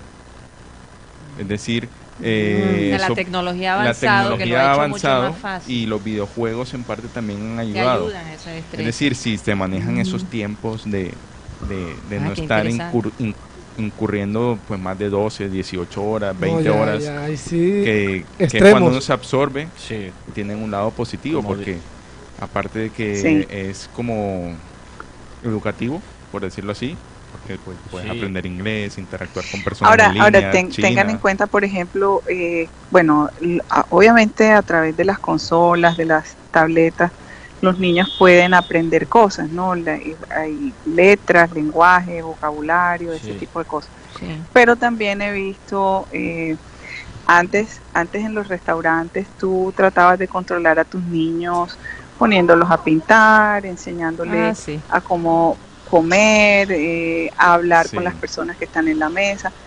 Pero hoy en día es muy común ver que los papás le dan el tablet al Sí. niño y el niño está todo el El tiempo en el restaurante, todo el tiempo en la mesa jugando el video game Ay, para, sí. para que pueda estar tranquilo y comer. Y, y es que ahí es Entonces, culpa de los padres. fíjate, Sí. Fíjate cómo, cómo a veces los padres, para facilitarnos, digamos, y, y, y, y Para, un desenca- para desencartarnos, es la palabra. Eh, Buen- buena palabra. Bueno. No, aquí tienes el tablet, diviértete y déjame aquí hablar con mi amiga. Así Eh, lo hacen en los automóviles también. Ya los niños no miran por la ventana los sitios por donde van o que se les da comunes, sino que van con un tablet detrás en la, en la parte de atrás del carro.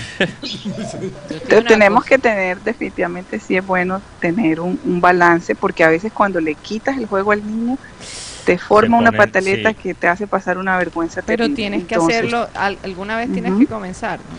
Ustedes han visto la serie Scorpion.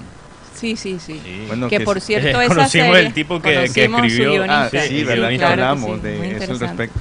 Bueno, ellos son una serie de, de personas que eran como rechazados en su entorno, en su ambiente, y ellos a través de tecnología y de, de programación y cosas de informática se juntan y, y dicen lo encuentran algo en común, se sienten integrados. Sí. Así también puede- pasa con, con los jugadores de videojuegos. En estas conferencias como la Gamescom, la, la Paris Geek Week, que es pues de, también de juegos, la E3, se junta mucha gente, muchos jugadores a nivel mundial que tal vez en su entorno social Sí, de la escuela no, no se sienten tan integrados, pero aquí llegan y, y, y se sienten en un mundo súper felices. Sí, como pasó con el Comic Con hace años, es lo mismo.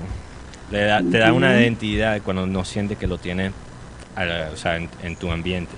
Ahora, yo entiendo a los niños y a los adolescentes de aquí de Barranquilla. Si ¿Por no qué? tienen un equipo que, que de, de- de- de fútbol que los anime, que los saque de su rutina, No, ¿qué y- otra cosa van a Y hacer? tú puedes... si no- no, yo, Perdón, yo pre- perdón, ahora mismo yo prefiero jugar con, con el Junior en FIFA y crear mi propio FIFA. equipo y, y Y sacar a crear tu Comesaña equipo, que, que ir al estadio, te digo la verdad. Al menos gana. Dame la, Ya, dame la nómina, Dame la pero, nómina. pero también, Matthew, te gusta ir los viernes en la noche a Portman a socializar en persona. ¿sí no? Por cierto, a las 10, cumpleaños de Guti. Ah, bueno. Yo, yo tengo una pregunta sobre el tema, porque muchas Bueno, veces... yo los dejo, me tengo que Bueno, retirar doctora, por gracias. ahora, pero les mando gracias. un abrazo y, y qué bueno poder compartir con ustedes eh, este Chocolates. Chocolate. Sí, ella Chocolate. Ya- prometió ya lo prometió. Sí. Una sobre el tema era que nosotros, por lo menos donde yo asisto, cuando- Habla de cumpleaños, Guti. no, da da un momento, cuando los niños no le, no le quieren dedicar tiempo a la palabra de Dios o a la Biblia, usan este tipo de juegos como preguntas y eso va haciendo que el niño se enamore. ¿Y entonces qué se da? Instruye al niño en su camino y cuando fuere viejo no se apartará de él. Los niños empiezan a ver, a ver historias como José, y empiezan como que a poner los ojos en el tema en, en el, como tal. Bueno, incluso, incluso este, para los adultos ya hay novelas, la novela de Moisés, hicieron la de María Magdalena, la buena, serie, muy o sea, buena. están usando eh, personajes de la Biblia para, para entretener y para ser ejemplos ¿no? de vida. Pero con Mateo, nosotros controlamos mucho esos videojuegos. Mateo Sí, bueno. rogaba jugar hasta los siete años. Y a partir de los siete años ya le fuimos soltando los, No, los antes, videojuegos. antes, como cinco, Alejandro. seis. Mira, yo, Antes, pero no, muchas, ve- muchas veces yo me demoraba Escondida. en el baño. Sí, yo jugaba. ¿Cómo? eh, eh, de- me demoraba en el baño jugando Game Boy. ¿Dónde? Y después me, me- me- mis padres me preguntaron, oye, Mateo, ¿estás bien en el estómago? Y yo, sí. Y yo estaba ahí 30 minutos jugando con el Game Boy. Ah, eso no lo Ah, ¿Con pero qué está jugando. Mateo? Mm. Confesiones. sabía, jugando. Mateo. Confesiones. Wow, yo que pensé que, que tú eras... no, Estamos hablando de los decepciones. 8, 8, 9 años, por Dios. Alejandro. Bueno, tengo videos de Mateo diciendo, por favor, mamá linda, preciosa, ¿me deja jugar? Eh, que verdad, ok, por Dios, al aire no. eh. Karina. ¿Qué pasa en el Este, video? este es un ambiente, ambiente profesional. Tienes por Dios, razón, hay que contar de mi Bueno, es que niñez. tú contaste algo de tu niñez, entonces me diste pie. Bueno, cambiando de tema, eh, me llamó la atención una foto de, de Piqué Sí, eso con, lo vi con su camiseta nueva. Este, me parece que no está muy contento con el color que le pusieron. No sé, como diciendo, esto no, es, esto no va Parece, conmigo. él, él parece como un pelado de 16 años eh, poniendo una foto en Instagram. No sé, Raymond, pon la foto para que la gente lo vea. Eh, eh, es la camisa tercera de, de Barcelona, de Nike. No sé, me di cuenta viendo el estreno de, de también la tercera eh, camisa de Inter, que también es con Ni- Nike. Ellos quisieron hacer algo más moderno, más alineado con, con la moda, eh, como un desfilo. Por ejemplo, Inter un desfile, un, un des- desfile de perdón, un desfile. Sí. Inter usó modelos Oh, wow. eh, profesionales y, y salió chévere, o sea, modelo con ropa normal, pero con la camisa de ellos. Pero lo que me dio risa es que ahí está la foto de Piqué. Me- Lo que me dio risa es que trataron de hacer algo eh, parecido, pero con los atletas y se veía como extraño. Y forzada Sí, la forzado. foto. Piqué Como, ¿para qué me como- van a poner en esto? Pasa es que las últimas camisetas del Barcelona, tercera equipación, han sido, sido malísimas. No, no muy llamativas. Sí. En cambio, por ejemplo, vi la del Tottenham, muy bonita. Chévere. La, la, la del Inter que hablaba La Mateo. de Liverpool. La de No, la de Liverpool muy bonita. chévere. Con la negra con nada. el azul. Sí, Mm. esa me gustó. Pero interesante, una conexión entre la camisa tercera Sí. eh, de Barça y el del Inter es que los dos fueron basadas en camisas cuando jugó en temporadas temporadas donde jugó Ronaldo, el, el Ronaldo brasilero. Fenómeno. Fenómeno, exacto. Entonces me, me interesa esa conexión. No sé si Nike está haciendo algún tipo de comercial con él, eh, una campaña, pero ya. No tienes más que decir. Bueno, ¿y qué pasó con Messi? Oh, Messi, bueno, Messi tuvo una entrevista bastante interesante que ¿Cuándo se hizo ese, esta fue, creo que ayer, Ayer, en la- ayer, sí. Messi estaba hablando de su contrato, que hablamos de eso ayer, eh, ayer con, con Cyril. Que él es- yo creo que la teoría de él es correcta, que Messi, obviamente, es sí es probable que ha estado con, con David Beckham, pero Messi dijo básicamente que él se quiere retirar en Barça, que Barça es, Sí, mientras que Barça tenga un equipo competitivo con la oportunidad de ganar trofeos, él se quiere quedar y retirar Pero en ¿cuántos Barça. años está diciendo Messi esperar para retirarse? No sé. No, no lo ha aclarado. No lo lo que ha dicho es que él tiene contrato hasta el final de esta temporada, pero Sí. no, no lo aclara él. Es un rumor que dice. Y- de hecho, él dice que él no dice por cláusula yo no puedo hablar nada de mi Sí, contrato. Y, y, eh, Claro. empezando en, en enero, él puede empezar ya a hablar con otros equipos. O sea, en enero él puede o renovar por un año más o ya empezar a hablar con equipos para firmar un contrato nuevo en una, o sea, y irse gratis de Barça. Todo tuvo que ver con algo que dijo Piqué en una Mm. entrevista. ¿Y qué dice Messi? Esta es mi casa y no quiero irme, pero quiero ganar. Pero quiero ganar. O sea, algo dice, bueno, vamos a, vamos a buscar ganar la Champions porque es lo que está buscando. Y cuando hablamos sobre Neymar, él respondió, Neymar es un buen jugador de los mejores, pero para que se den cuenta que yo aquí no mando, no vino Neymar. No vino Neymar, sí. No, es que lo que básicamente lo que le, le cuestionaban o le preguntaban era, eh, pues que se, muchos dicen, tú pones a los jugadores en el Barcelona y tú pones a los jugadores en, el, en Argentina. Eso es lo que dice la gente. Y, querían aclararle ese tema desde, qui- desde quizás Argentina, eso, eso es verdad. Lo, que- lo- lo- lo que sí escoge, Marengo, lo que sí escoge Messi. Marenco, por favor, cierra la cámara. porque estamos, estamos viendo tu comodidad en tu casa. Lo que, lo que sí escoge Messi Aún- en Barça aún son no los técnicos. Esa, señ- esa señal que envía Marenco, pero bueno. Timbriseño, viendo la imagen Caribe Sano TV en YouTube y, y, y Raymond, te- te- perdón, Raymond no, eh, Mateo, te estoy viendo con una gorra. Ay, Mateo, te están buscando Imagínate. Marenco regresó a la transmisión solo para roja. Sí, la que quedaron eliminados. Bueno. Oye, Marenco, ayer ¿qué ayer tenían le- 0.1% per- por ciento para calificar a los playoffs. Pero ¿qué fue lo que le pasó a Marenco con Daddy Yankee? Marenco, cuéntanos Oye, sí. Marenco, joder, cuéntanos ¿por qué no. te metiste con Daddy metiste con Yankee? Daddy Yankee, ¿qué pasó ahí? Ah, no, no, no, no, no, no, yo, yo no me he metido con él, simplemente dije que no le perdono que haya distorsionado y, y, bueno, prácticamente sepultado en la, la buena música puertorriqueña y del Caribe. Uy, Y hablar Marenco, del extremo que está soportando el y no, no hay man no sé, imagínate soy esa Ah, ah. Si, si se va para el patio, el wifi Sí, no llega exacto, No llega, por no favor. llega. Otra vez para la sala. Si se va Se para el, para el patio, el Quita el wifi no video. llega hasta Y exacto, y por favor, quita el video que es. Pero eh, ¿dónde está el video? Yo no lo veo.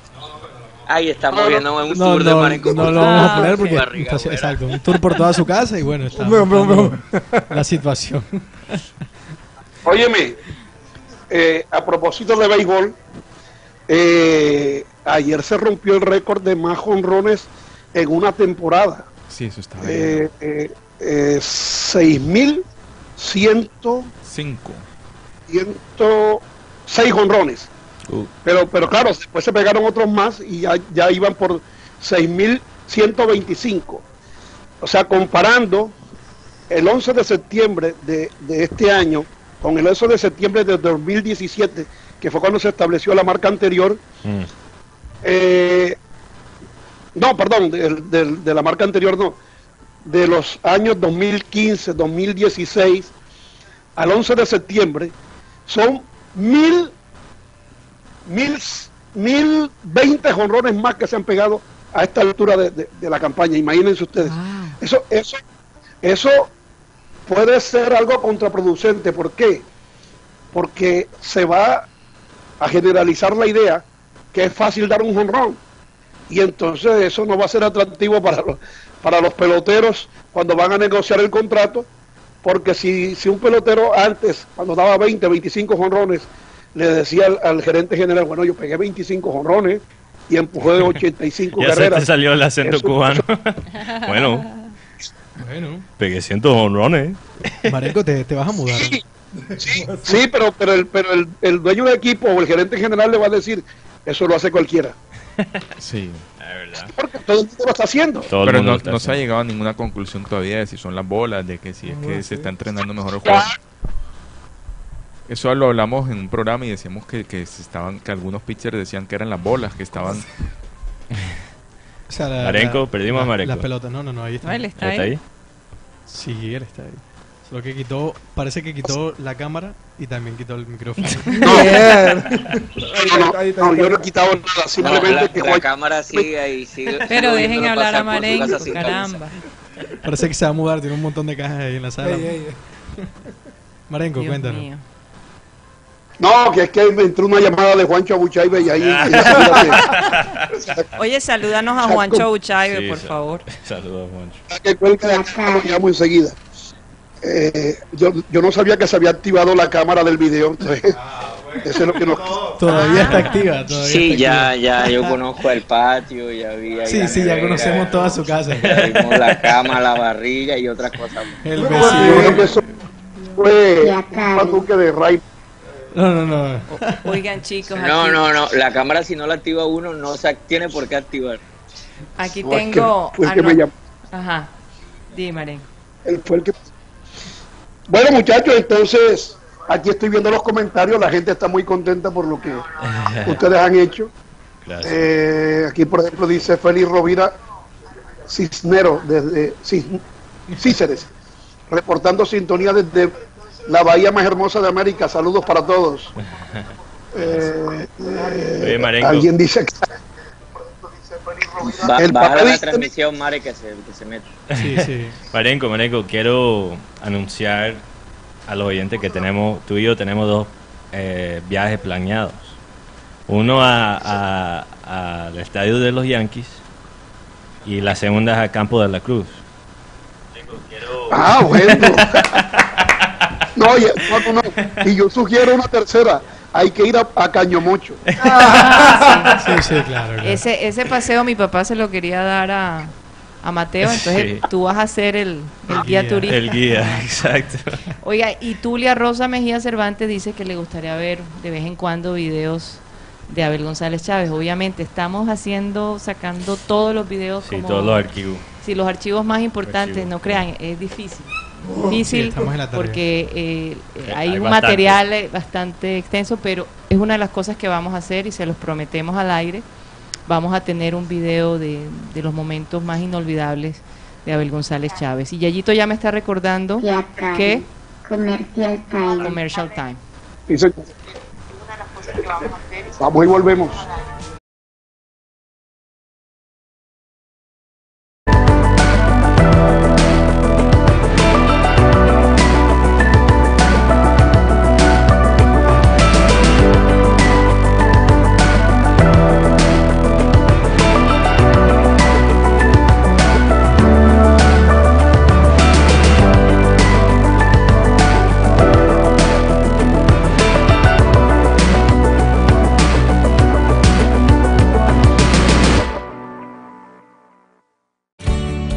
Inició el mes de amor y amistad. Prepárate para descuentos de locura en ropa y accesorios seleccionados. Este viernes 6 y sábado 7 de septiembre en Harley Davidson Barranquilla. No te lo puedes perder. Qué mejor regalo en amor y amistad que una prenda o accesorio Harley. Te esperamos en la carrera 51 número 7636. Sector Alto Prado.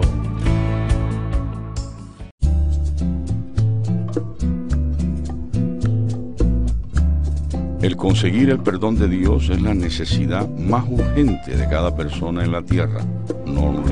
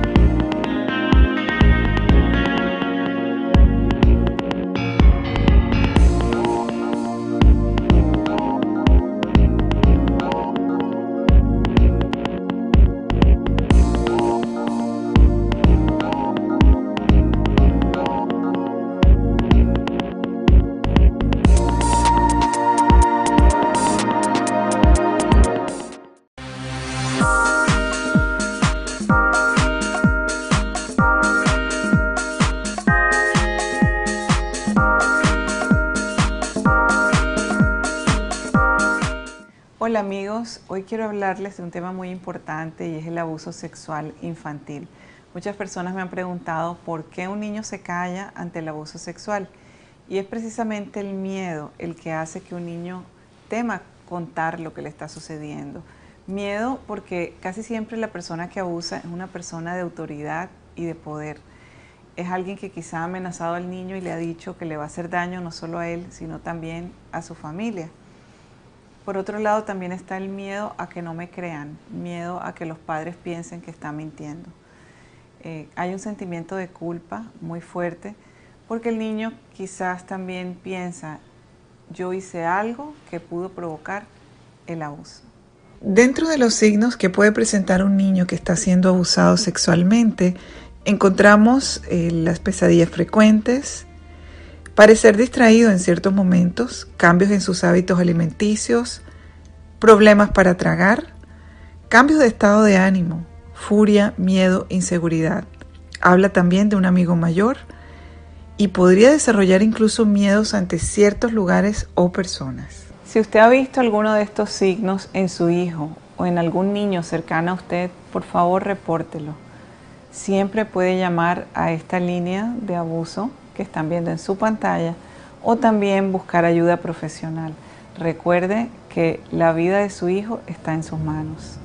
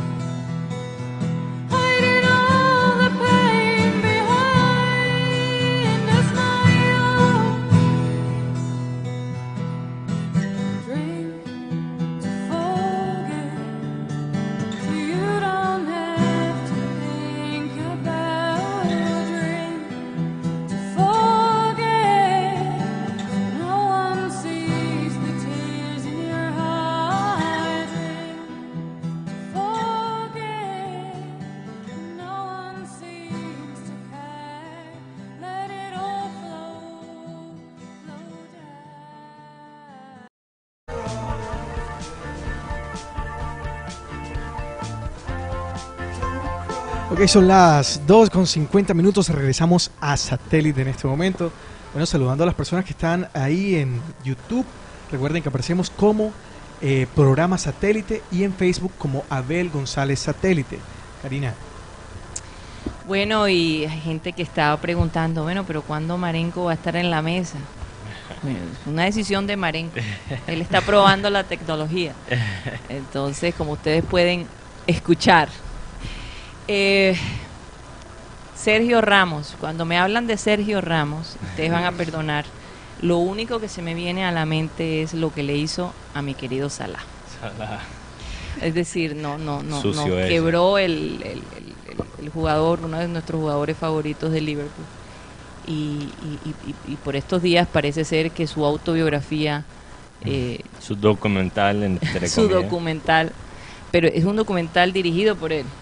O sea, Es una serie una producida serie. por Amazon Prime, Oh, wow. realizada con entre Amazon y Como Sergio la de Ramos. Luis Miguel, que Luis Miguel también dirigió, Sí, escribió. lo hacen todo. eh, se llama El Corazón de Sergio Ramos. De hecho, se, se ¿Cuál- estrena cómo será el mañana. corazón de Me Sergio Ramos? enteró- Y él tiene me- corazón. sí, exacto. Sí. Me interesó esta frase, Alejandro, que me mostraste. que Sí. Dice, ¿Cuál es? Aquí, eh, superada la vergüenza ajena inicial, es que se dice, presentan a Sergio Ramos, o sea, se presenta un documental en el que Sergio Ramos habla de que el Real Madrid solo le vale ganar y ganar y ganar. Y presentan este documental en un momento en el que el Real Madrid está Perdiendo. perdiendo, perdiendo, Sí, perdiendo. no, no, y esta frase, no es lo mismo el Sergio Ramos del terreno que el Sergio Ramos de casa. de casa. si yo fuera una mala persona, yo diría eso. Mira, lo que ustedes ven no es la realidad. O sea, eso es una, una buena Estoy táctica. actuando, estoy Exacto. actuando. Eso es lo que hago en el campo. Fuera de la casa soy una buena persona. Si yo fuera de verdad un tipo, una mala persona, eso es lo que yo No, haría. Es una buena, buena estrategia, serio. Buena.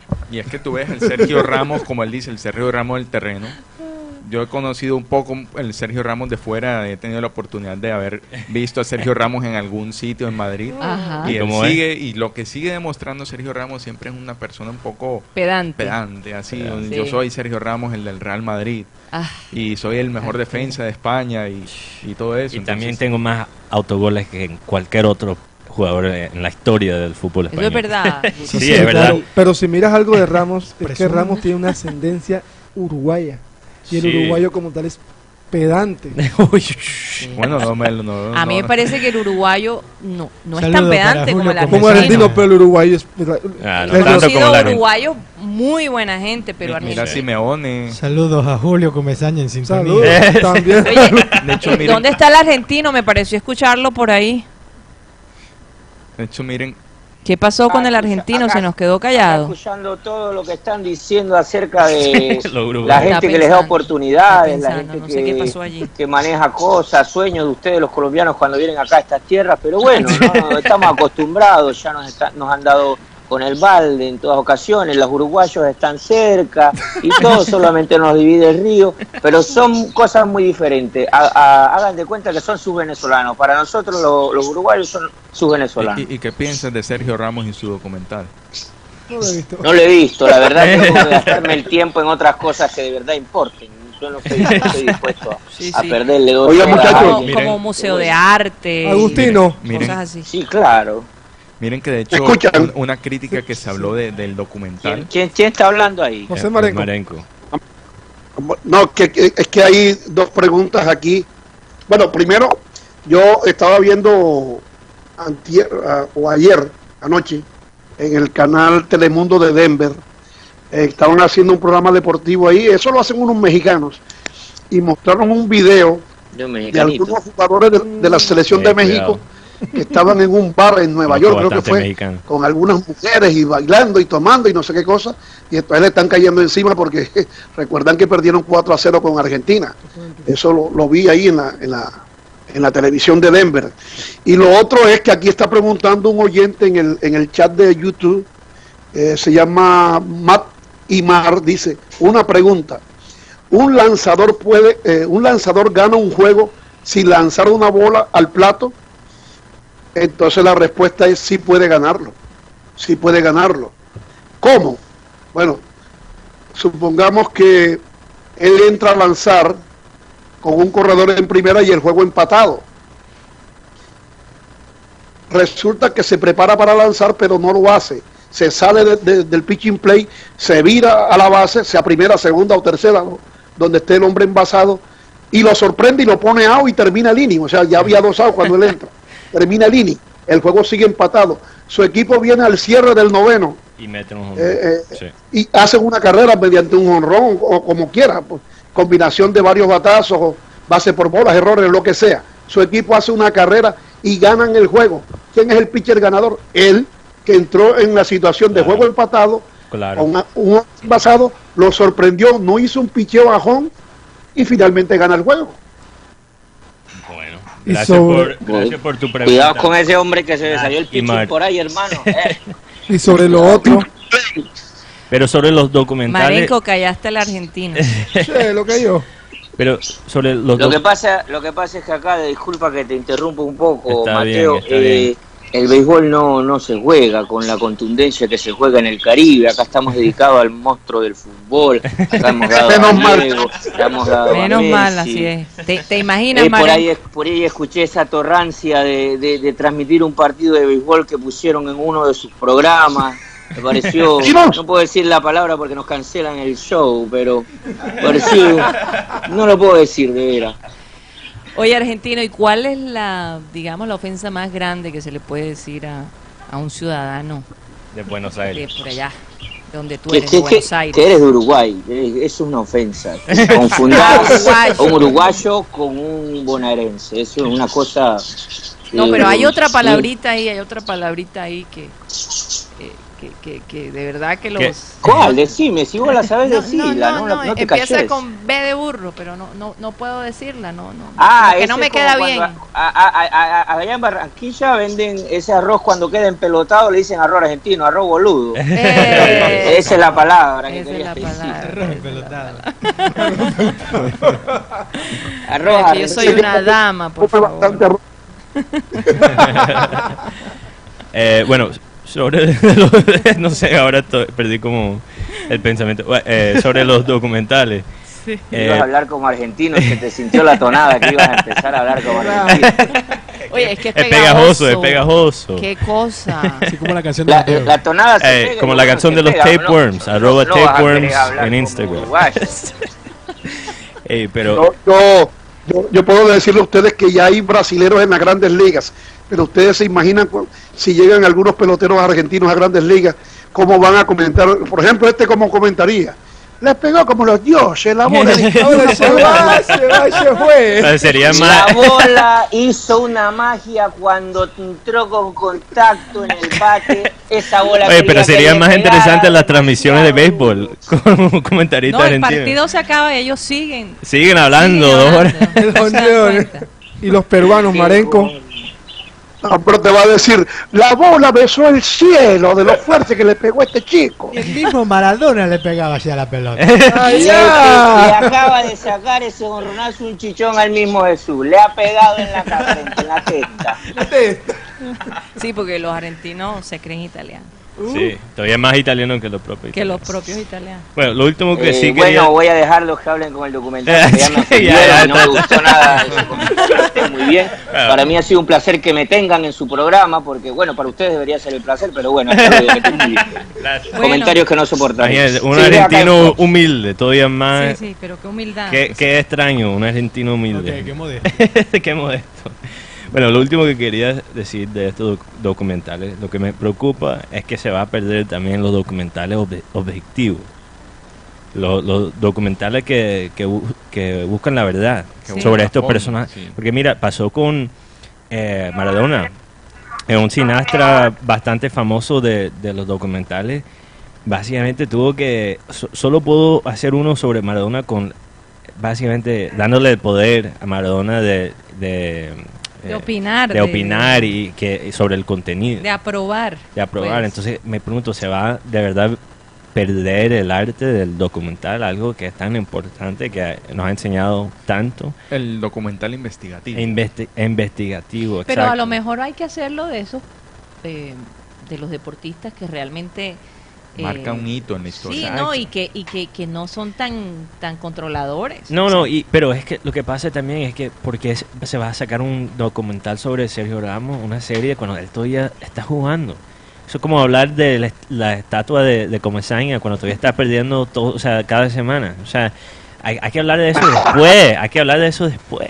Cuando, ya con tiempo, pasa. tiempo de dirigir, digerir un poquito la, la- el legado de, de la persona en cuestión. Oye, y, y la competencia para el nuevo monumento está, está fuerte. Sin embargo, va ganando el que, el que es de vidrio y tiene la forma, La forma de la aleta. Ese es mi favorito. Ese es muy bonito. Yo creo que ahí, yo creo que ahí nuestro amigo Cristian Daes eh, fue un poquito rápido cuando, cuando expresó eh, ante el anuncio de que Comesaña venía de que si el Junior era campeón le hacía una, una estatua y como, De y como fue cristal. campeón entonces tiene que cumplir pero realmente Yo sé, que Cristian, tam- yo creo sí, que- yo sé que estamos viviendo en un mundo rápido, pero también hay que- a veces hay que cogerla suave con, con, los Sí, esta- porque- con las estatuas y documentales. Pero lo, Oigan, porque si chicos. Sí. hay personas que merecen más la estatua Sí. Claro. claro. lo, lo que decía Abel, yo soy comesaña y no recibo la estatua ya por dignidad. Bueno, No, yo no, yo, a mí no me queda ni bien, pero hay un personaje muy cercano Prefiero- a mí que, que- pre- que- que merece algo. así. Prefiero una estatua a Tolosa que a- Wow, wow, wow. Oigan, chicos, no lo van a creer, pero ya son las 3. ¿Qué significa? Que nos- se nos acabó el time, pero como siempre, queremos que nuestro fundador de satélite nos despida con esas palabras sabias, como siempre lo hacía. Despídenos, a ver. Voy a terminar ya eh, leyendo el versículo porque el tiempo nos, nos tomó, nos cogió. Son las tres. Sí, señor, tres de Sí, la sí, tarde. ya voy. El versículo bíblico dice, así que no os afanéis por el día de mañana, porque el día de mañana traerá su afán. Basta a cada día su propio mal. Así que cálmate, vive el día y déjala para mañana. Pero hay un versículo bíblico que dice, ve insensato la hormiga, que guarda en el verano para cuando venga el invierno. Es decir, la hormiga sí está instada a pensar en el futuro. Ve insensato la hormiga que guarda en el verano para cuando llega el invierno. Eso es pensar en mañana. Señoras y señores, se nos acabó el time. Só dando ideia.